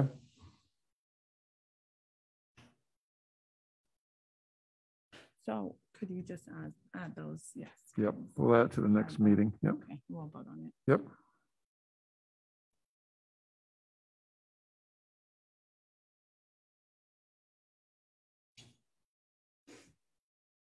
Okay, thank you. So, um, yes, Member Surrette. I'm, s- I'm sorry. Could, could I just have clarification from, what, what is it exactly that happened that, that was out of order? I Just, just help me understand. Okay, when you bring, make a proposal, Tim, under Robert's Rules of Order, it should come under action items, not at making a comment. It states that um, Member Mundell made proposed an advisory committee. When you make a proposal, it should come under action items, Okay. okay? Not as a comment. I think the idea, or concept was great. That's not the problem. It goes under point of order. Yep. No, I'm not, I'm not disagreeing with you. I just wanted to understand. And now I, Okay. now I'm seeing where it's listed in the minutes. Member Yes, Mundell it- It's proposed. listed incorrectly. That's what I'm trying to Okay. tell you. Yep, yep. Thank you. You're welcome. So, You want to, we can strike it from Strike this it, one and yes, yes, approve the yes, minutes, yes. and then it'll be on our next business item. We'll do the same proposal as an action item. because that's the only way to correct the minutes is just to strike it out. I mean, we can't go back and That do would it work. now. So Yeah, we that would strike, work. so member Sorg will strike it now, and we will add it to the next meeting as an action item, the proposal for a mental health committee. Yep. Okay, Do we have to vote on striking it? Yes. yes. So I, um, does, does, um, I was gonna say Sorg, member Sorg make that? She makes the motion. Okay, can you do that, please, member Yes, Sorg? I make a motion that we strike um, Member Mundell's proposal at this time and put it into next meetings uh, under action, superintendent's proposal updates or action items where it belongs. And I It's not- second it. Th- That works. I seconded. Okay. Uh, any discussion, questions? No? Okay, Chair Okay. Hassanien, Yes. um, member Luciano, Yes. member Mundell, Yes. member Sorg, Yes, member Sprague, Yes. member Surrette, Yes. member Sychterz. yes. Okay, so now let's go back and vote on the minutes. Yes. please. Okay, you want to take And- a and motion? Can I get a motion, please? So So moved. moved. Oh, it's Second. already- It's already been motion, oh. it's already been Oh. moved and seconded. okay. So Okay. we That was don't, discussion. You're right. So just a roll call. it's just, Okay, Chair Hassanien, Yes. member, member Luciano, Yes. member Mundell, Yes. member Sorg, Yes, member Sprague, Yes. member Surrette, Yes. And member Sychterz. yes, Okay, passes seven zero. Okay, thank you. Um, next we have personnel, extra duty assignments. Okay, I'm recommending committee approval of the following extra duty assignments for school year 2021, 2022. Denise Simino, Civil Rights Advisor, James F. Doughty School. Lauren O'Reilly, Civil Rights Advisor, point five, James F. Doughty School. Carrie Thurman, Beach Hearing Coach, James F. Doughty School. Sarah Freeman, A softball coach, James F. Doughty School. Mike Corneal, B softball coach, James F. Doughty School. Troy Varney, A baseball coach, James F. Doughty School. Nan- Nancy Watson, Library Coordinator, Bangor High School. Scott Clement, AP Coordinator, Bangor High School. Mary Sue Schilling, LGBTQ plus advisor, Bangor High School. Emily Throckmorton, LGBTQ plus advisor, Bangor High School. Michelle Benoit, Mountain Bike Club, Bangor High School. Carl Robbins, Maine Quiz Bowl, Bangor High School. Okay, can I get a motion, please? So moved. Second. Any discussion? Okay, roll call vote. Chair Huston, Yes. Member Luciano, Yes. Member Mundell, Yes. Member Sorg, Yes. Member Sprague, Yes. Member Surrette, Yes. Member Sychterz, Yes. passes seven zero. Thank you. Can we move on to second reading of a policy E? And we have revised policy JLA, local wellness program. I'm recommending approval of revised policy JLA Local Wellness Program. Can I get a motion? Second. Any discussion or questions?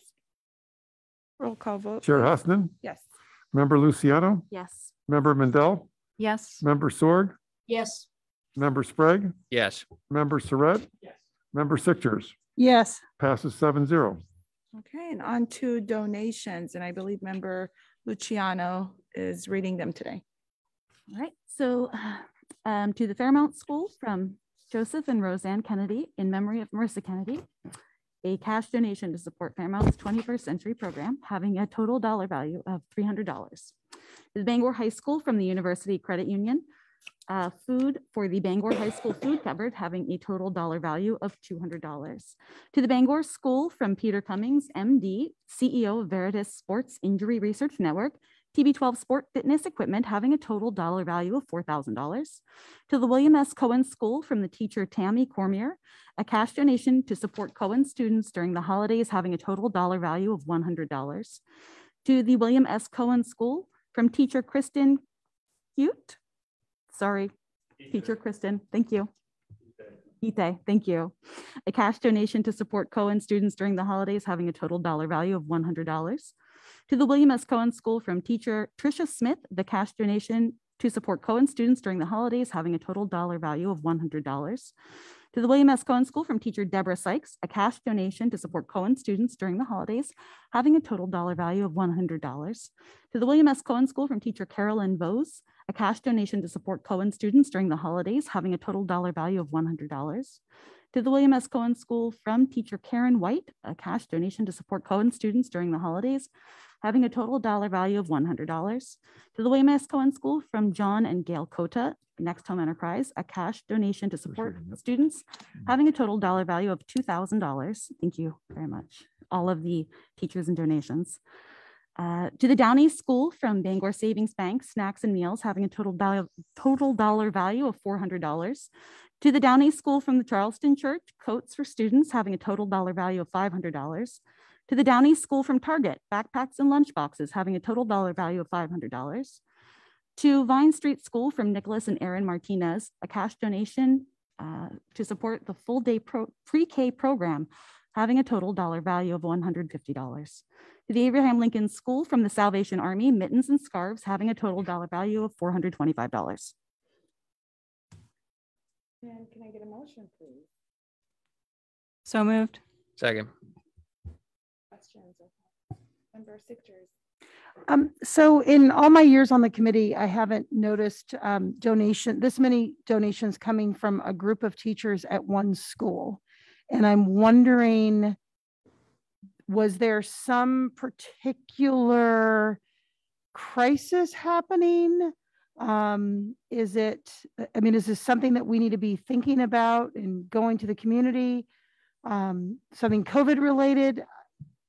I mean, it, it's incredible and it's, it's incredibly generous and I'm extremely grateful, but I'm, I'm, I don't want this to be, co- I mean, is there some issue that we need to be thinking about as a community, for example? Good evening. Thank you, Mrs. Sychterz. Um, so no, no, no crisis. Uh, annually, we, uh, work with our guidance counselor, social worker, uh, communications within the school building. And I believe all the other schools do a, follow a similar process where teachers work together to um, identify students or families who may need assistance during the holiday season.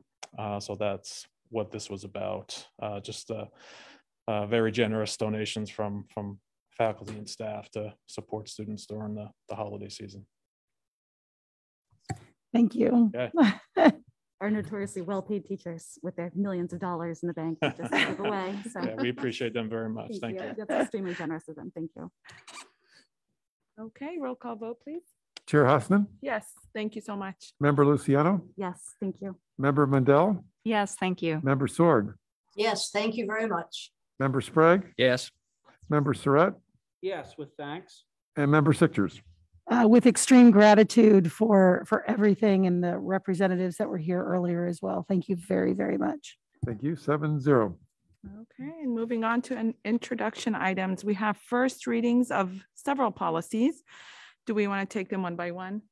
You can take them all together if you'd like Or for do you, first or reading. do you wish to take them all together unless we have specific questions? Together? Is everyone okay with that?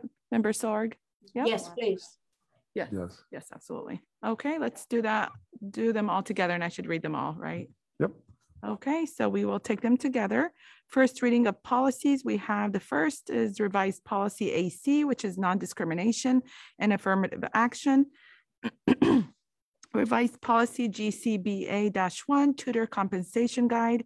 Revised policy GCCA, recruiting and hiring of administrative staff.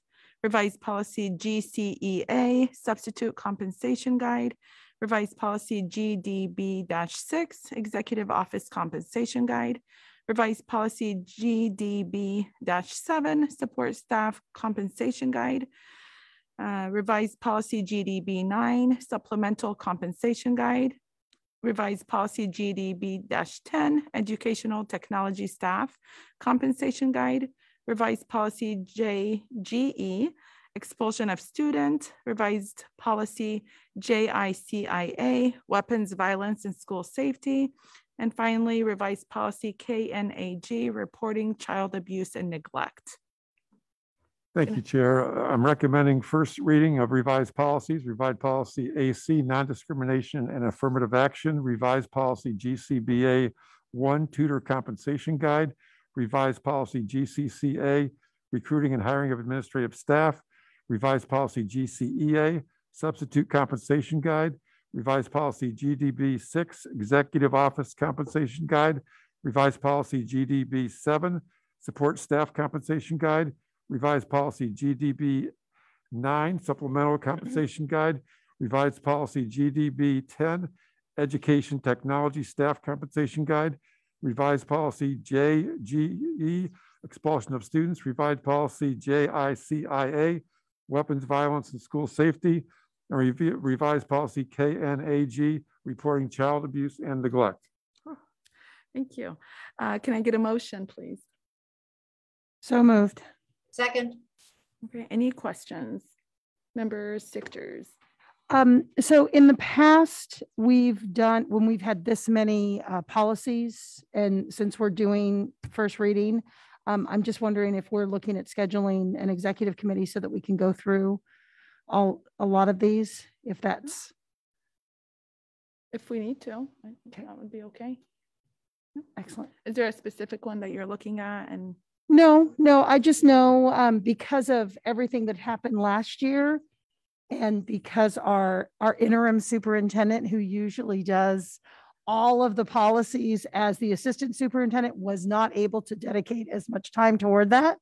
That there's been a lot of, there's been a lot of, you know, tweaks and updates, and that's usually something that we, you know, kind of have a, have a chance to really sort of look at in an executive session. And if, I was wondering if there's any that are, if these are all just, this is policy changes dictated by the state, or if there's something else, so. Sorry, Dr. Harris-Smedberg. This is an easy one. So so a lot of these changes are due to um, changes in the salary scale. And then there are some things that in um, words for non-discrimination, um, familial status is something that needed to be added to a lot of these. So really, a lot of these are, are minor ones. Uh, expulsion, weapons safety, it's a matter of um, age level of students. Um, so as far as policy changes, these are pretty small. They're mostly just uh, changes to existing policies and some of the, what um, Kathy was saying makes perfect sense with the minimum wage. So there's some adjustments in salaries as well too. So I, if you want to do an executive session, maybe prior to our next meeting, if you like.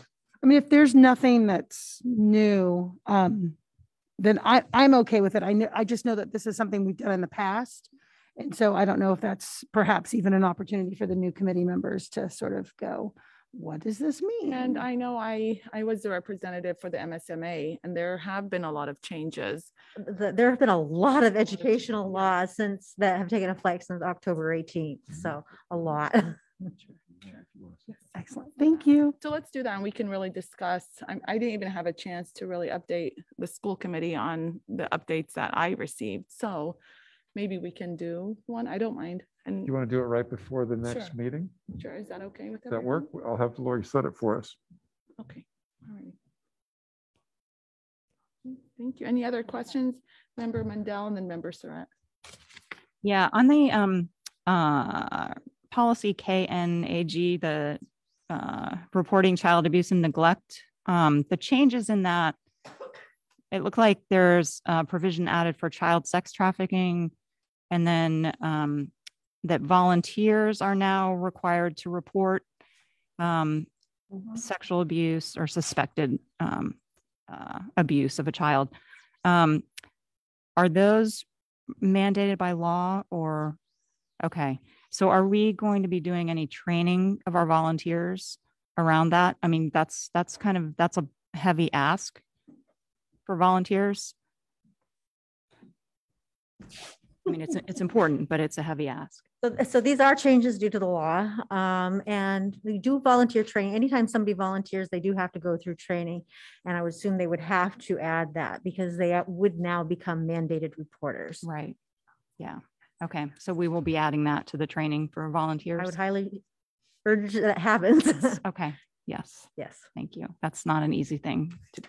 No, it's, it's not an easy thing. And I think sometimes people have to have ways to know how to do it. Yeah. Um, and honestly, a lot of the onus will fall on the principals, like they would report to the principal or the school counselor who would actually help them or make the call themselves. So. Mhm. Okay. Thank you. Okay, and member Surrette, you're next. Thank you.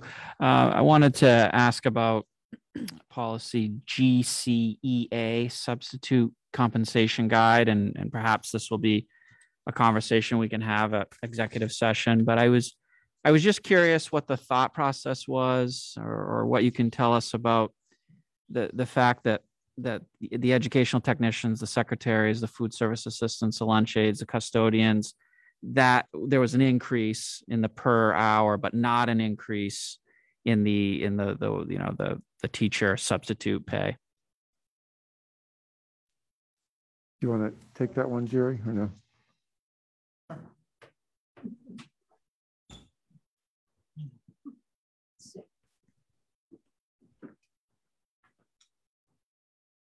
So we, we did look at that policy and that very item has been discussed. We, um, with the uh, teacher substitute rates, we looked at area towns to make sure we were still competitive. If any time we find that it's not true, we'll come back and revisit this policy again. But at this time, we think those rates are still a competitive pay scale. Okay, thank you. Okay.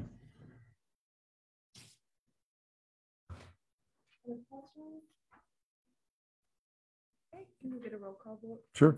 Uh, Chair Hassan, Yes.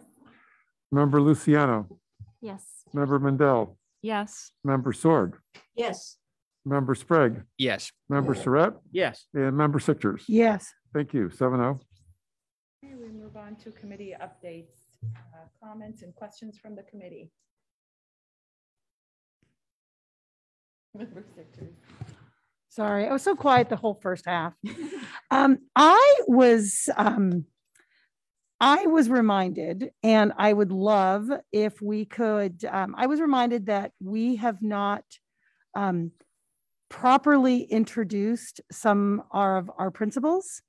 Um, and I would love an opportunity to have, I know that because of certain circumstances, not everybody is here, but if, if they wouldn't mind sort of coming up to the podium and saying, hi, this is who we are. This is where I teach. I love those eyes just sort of darting over there. Um,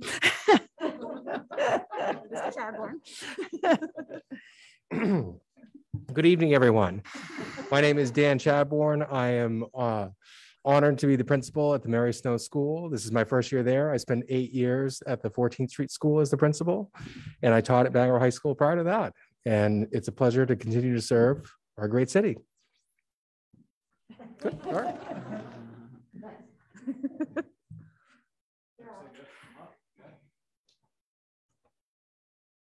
Good evening again, Mike Missbrenner, principal at uh, William S. Cohen School. Uh, I've had the great honor of being part of the school department starting way back in 1996. Um, uh, worked at Bangor High School for a year, James F. Doughty School as a special education teacher. Uh, had a great fortune to become the principal at the Mary Snow School in 2010, then transitioned to the William S. Cohen School in two, 2015. Thank you for the opp- continued opportunity. Thank you very much.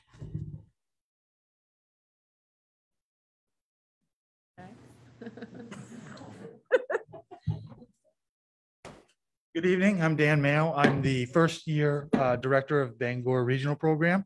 Uh, Before that, I had the privilege of working under both Paul and Chrissy at the high school and a couple years at the regional program as a special education teacher.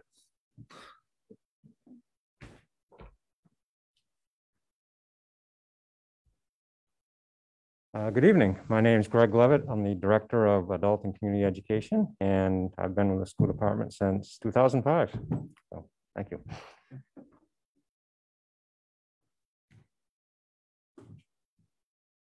Um, Good evening. I'm Sarah Vickers. I'm the principal at the Downey School. Prior to this year, I taught uh, special education at Fruit Street.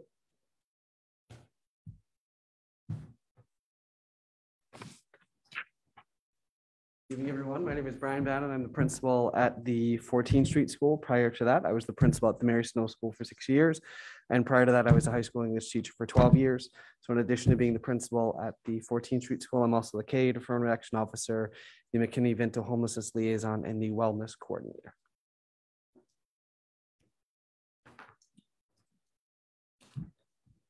Good evening.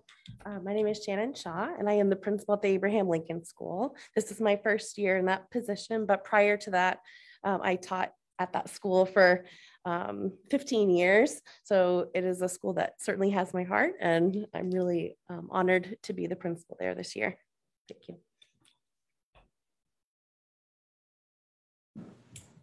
Good evening. I'm Ryan Enman. I'm principal of the Fairmount School. It's my 14th year. Uh, before coming down here, I was uh, principal assistant superintendent in Limestone, and I was a special education teacher before that.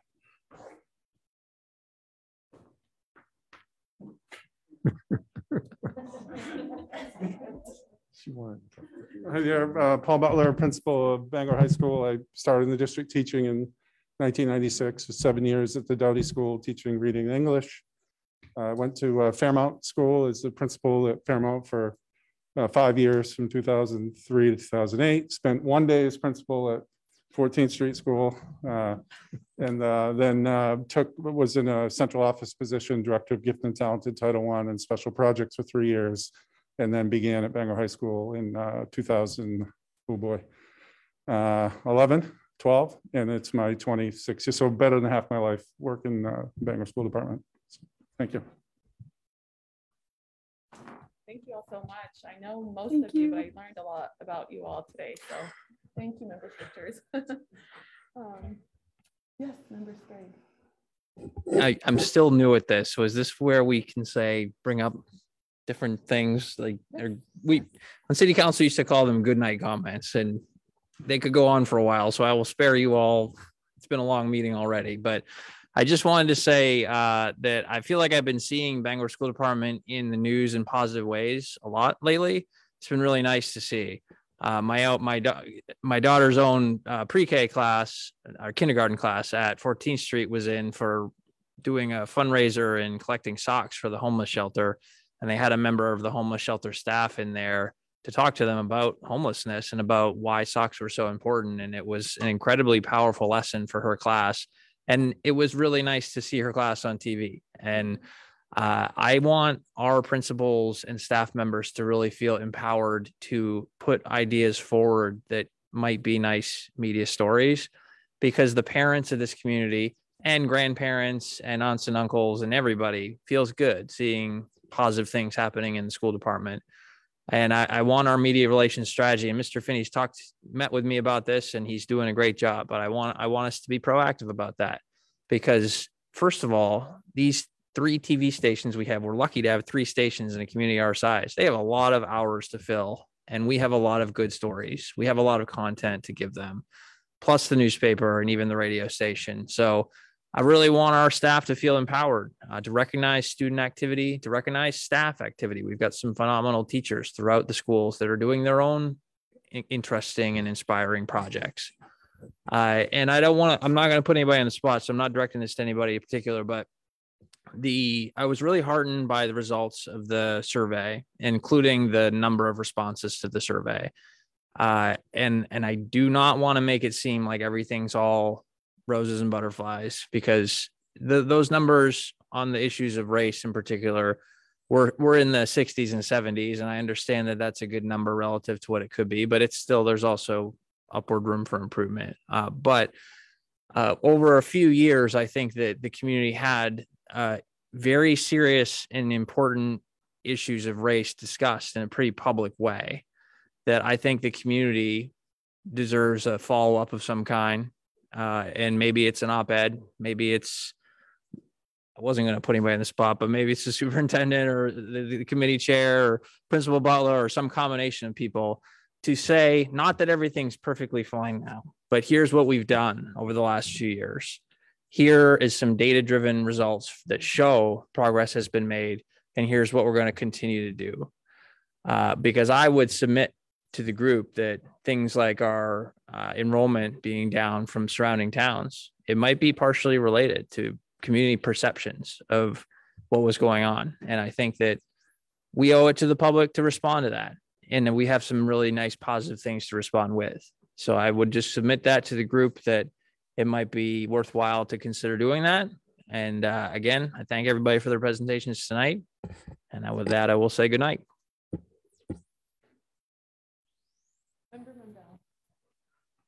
Yeah, two things. Um, well, maybe three. Um, Member Sprague, I agree 100%. I think it would be fantastic to have some kind of follow up with the community on the issues of racism. And um, we've done so much. Um, and I, I think I don't think anybody knows um, other than people who come to these meetings. So I think um, I think that would be a great idea. Um, I also want to give a shout out to the crossing guards. Um, I have been driving my kid to school um, this week. And I think yesterday morning or this morning, I can't remember now, it was either two degrees or minus two degrees. I can't remember, but it doesn't matter because that's really cold and um, the guy at Bangor High School, and I don't know his name. I, I meant to find out before this meeting, but I want to thank him because he's out there every day, hot, cold, whatever. I always try to wave to him, but he's always completely focused on what he's supposed to be doing, keeping the kids safe. That's Jeff Fahey, correct? oh, that's Jim, Jim Fahey. Okay.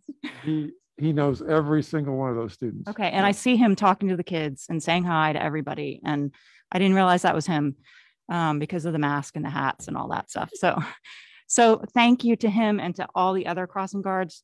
That cannot be a fun job right now. So I appreciate that.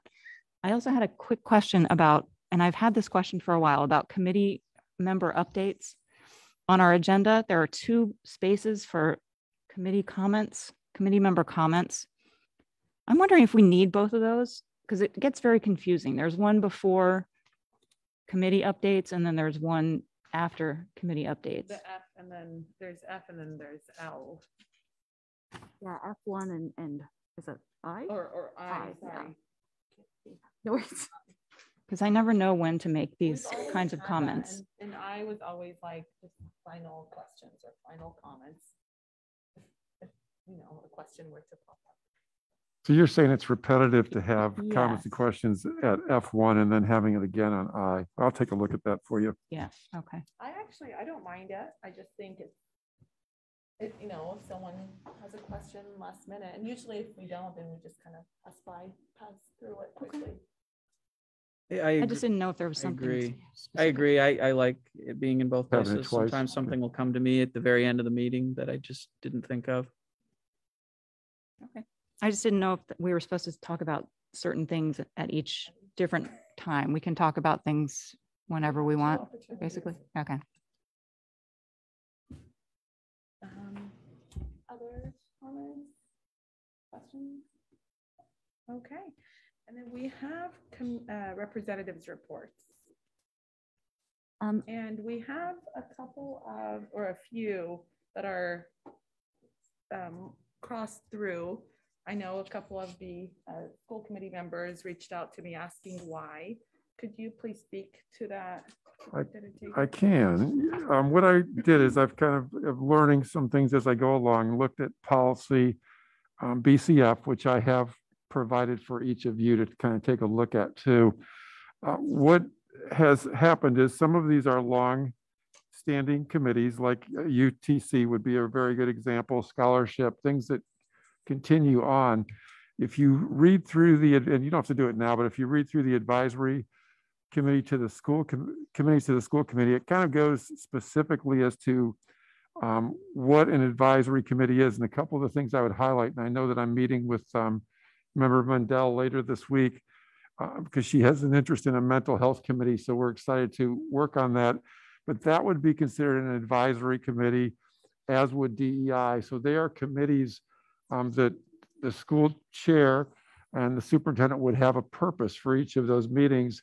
And usually you would set a timeline too. And I know that you and I had had some some beginning conversations about what that timeline might be and what the purpose would be of each committee. So these committees can be disbanded after time and they have a specific purpose and we, when they would report out, you kind of mentioned that today too, Chair, about um, the DEI committee, when we could report. And I really see at the end of the year that each of those four subgroups would be able to share out um, through Dana um, what the work that they've been doing and, and share that with this committee. So it's an advisory type of a committee. So I think that this really, there's two different types of committees, and I just kind of wanted to clarify that. I'm sorry if we offended anybody by striking anything out. None of them are more important than others, but some are long standing. And when you look at this agenda too, um, I did this so it would be evident to be transparent. But if you look at letter I there to other, you can discuss any committee like I know that um, member Luciano, I think is going to talk a little bit today about dropout prevention, which is on here. And I think that member Mundell may discuss DEI, which would be under others. So we can talk about any of these committees at this meeting, but I just kind of want to differentiate between the two different groups. Kathy, did I do that well or did I totally mess that up? Because I've been, that's, that's how I would explain it. And that's perfect, because I think that the concern too for, I think several of the school committee members is that, you know, clarifying that all of these are super important. You know, the ones that are Agreed. crossed out are not any less important, and then we still want representative reports for each of these, so please feel free to do so with letter I, other. Thank you. Thank you. Member Luciano, do you want to go ahead and? Sure. give So, report? Yeah, I will, try to keep it brief. I know um, it's late. So I uh, was invited to participate with the Dropout Prevention Committee, which was um, wonderful. So I'm not sure if anybody was here when I asked maybe last time, what does this do? And no one knew. Um, I was really excited to see that it was an extremely robust and really well planned out committee. That was very exciting to see. I was extremely impressed. Um, I didn't feel that there wasn't anything. Obviously, we know plenty is happening, but the visibility of it, there's so much of the work that is done silently because it's not the glamorous work of like, we're mm. getting all these kids into college with full scholarships. It's like, we got you to show up today. And that is great. And that is the attitude. And I love it because that's to me just be there for the kid. And the kid sometimes will show up if you're there every day. And that's, there's so many kids that just need to know somebody remembered that they came to school that day. And to see so many people so invested on all those levels was great. I was also extremely impressed with the way that the data is being collected sort of from a pre-K level on up. Um, the, the, just the holistic approach to it is amazing. And I, am certain it's something that we don't talk about enough because it's not a glamorous thing that everybody wants to point to, but it's being handled with so much um, empathy and thoughtfulness and forward thinking. It's a very impressive thing to see. And thank you uh, to Christy for, I know that you're heavily involved and I know Tim Reed is uh, the chair essentially, but it is just everyone involved. It, it doesn't, there's no one who's there because it's fun. It's clear that everyone is there because it's very important to them. And that is really amazing to see. So I just wanted to bring that work to the head of this. The other thing that uh, we got to really be exposed to that I was really thrilled to see is the graduation coach. And I believe her position is new this year. Um, and I just wanted to, I had a thousand questions. What is this person and what does she do? And what does that look like? Um, it is all of the things that you would hope and maybe not think of. Things like what kids are the least likely to make it to graduation this year? Let's get them in front of us and let's talk to them and let's see what they need and get what they need to them. And the way that that was so openly facilitated in this, um, and I apologize, I don't have her name in front of me, but um, I'm 41. I would listen to her. She scares me. And I mean that in the best way possible. She was like, You have a deadline. Like, I do. And I should listen to you. Um, and I, again, not a, a scary person, just I believe her when she says it is time to do things. And that is also a, a wonderful thing. I, I'm very happy to see all of the moving pieces, all of the different thought processes, all of the different ways that people are approaching truancy and graduation and how those two are entwined. The socioeconomic piece is something that I'm always trying to be aware of because there's so many kids that don't know they have other options. And to see that there are people going in the community to the homes to try to make sure that these kids know somebody cares that they came to school that day is one of the most amazing things I've seen in public education. So um, overall, I love the plan that you guys have going forward, but really wanted to highlight that this is something that is done clearly to me is a labor of love by everyone involved. And it's really impressive. Thank you so much for that. Um, anything else from Spruce or UTC? Member Sorg? Scholarship? I think she's trying to talk to the. Oh, Member Sorg? I can't hear you. Do you have your mic on? Oh my goodness, I'm so sorry. That's okay. Um, I was saying, uh, do you have any um, updates from UTC? Yes, we met last Thursday, the 6th, um, members uh, Luciano and member Sprague were both sworn in as new board members. Um, we elected officers. Um, Jim Dill uh, is still going to be chair along with David McCluskey as vice chair. Um, UTC is at full capacity at this time, slightly under 700, but there's not much space for many more students. So they're looking at forming a building committee and looking into trying to expand uh, the facility. It will take, according to the state, it's going to take a good five or 10 years to get into that category where we all have to fit in when you want to build a new school. You're on a list, and when your list comes up, your turn comes up, you get what you need, unfortunately. Um, basically, it was just a good general meeting. Finances are perfect out there and everything is going very well. So if, if members Sprague or Luciano want to add, go for it, please. It's a great program. So excited to be a part of it. Very, very uh, roped in good. Excellent. Thank you all so much. Any other updates? Member Sychterz? Um, so as everybody knows, we voted on the second of the three uh, contracts. Um, we've already completed the teachers, now the ed techs, and we are in what I believe is our final um, bargaining unit. Um, no, apparently there's another one that I don't know about. Um, uh, we're in our third bargaining unit discussion. we, we do the administrators after that. another one? Um, and we really hope uh, by next month to be able to bring um, to this committee. Um, uh, being prepared. So we are we are in the middle of that. Uh, Member Sorg and myself and all of some of the lovely people around this room right now. So um, yeah, hope to have that to you next month. Excellent. Any others? No? Member Mundell? Yeah, just um, briefly on the DEI committee. Um, I think I'll, I'll try to be as brief as possible because Dana covered a lot of what we're focusing on right now. Um, but that is the work of just one of the four subcommittees, um, which is the equity audit subcommittee. I like to call it like more like a needs assessment subcommittee. Audit sounds like a scary word, um, and I don't think that's that's what we're trying to do.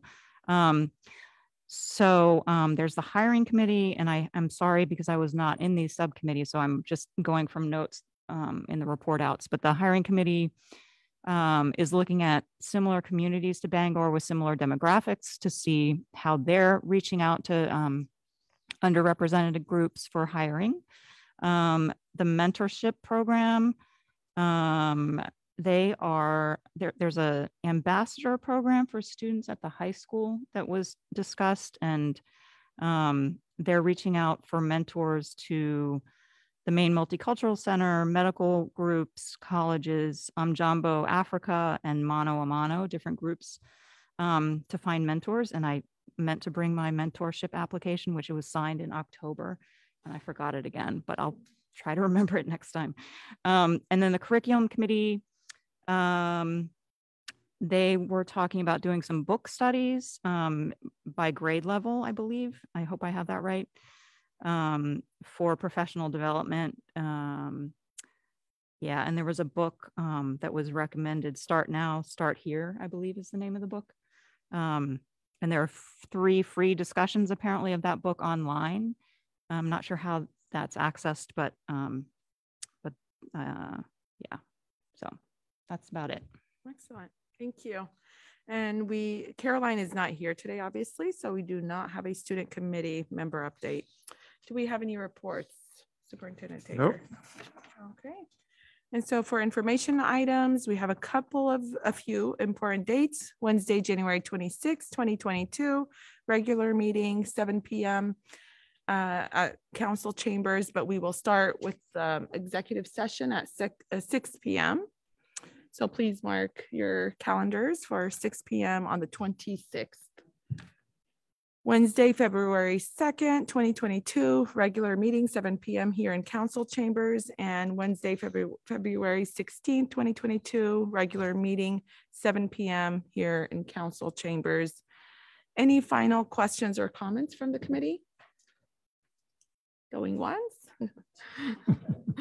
All righty. Um, and adjournment, can I get a motion, please? So moved. Second. Okay, and a roll call vote, please. Chair, Chair Hassanien? Yes. Member Luciano? Member Mundell? Yes. Member Sorg? Yes. Member Sprague? Yes. Member Surrette? Yes. And Member Sychterz? Yes. Seven oh. Thank you all. Good night.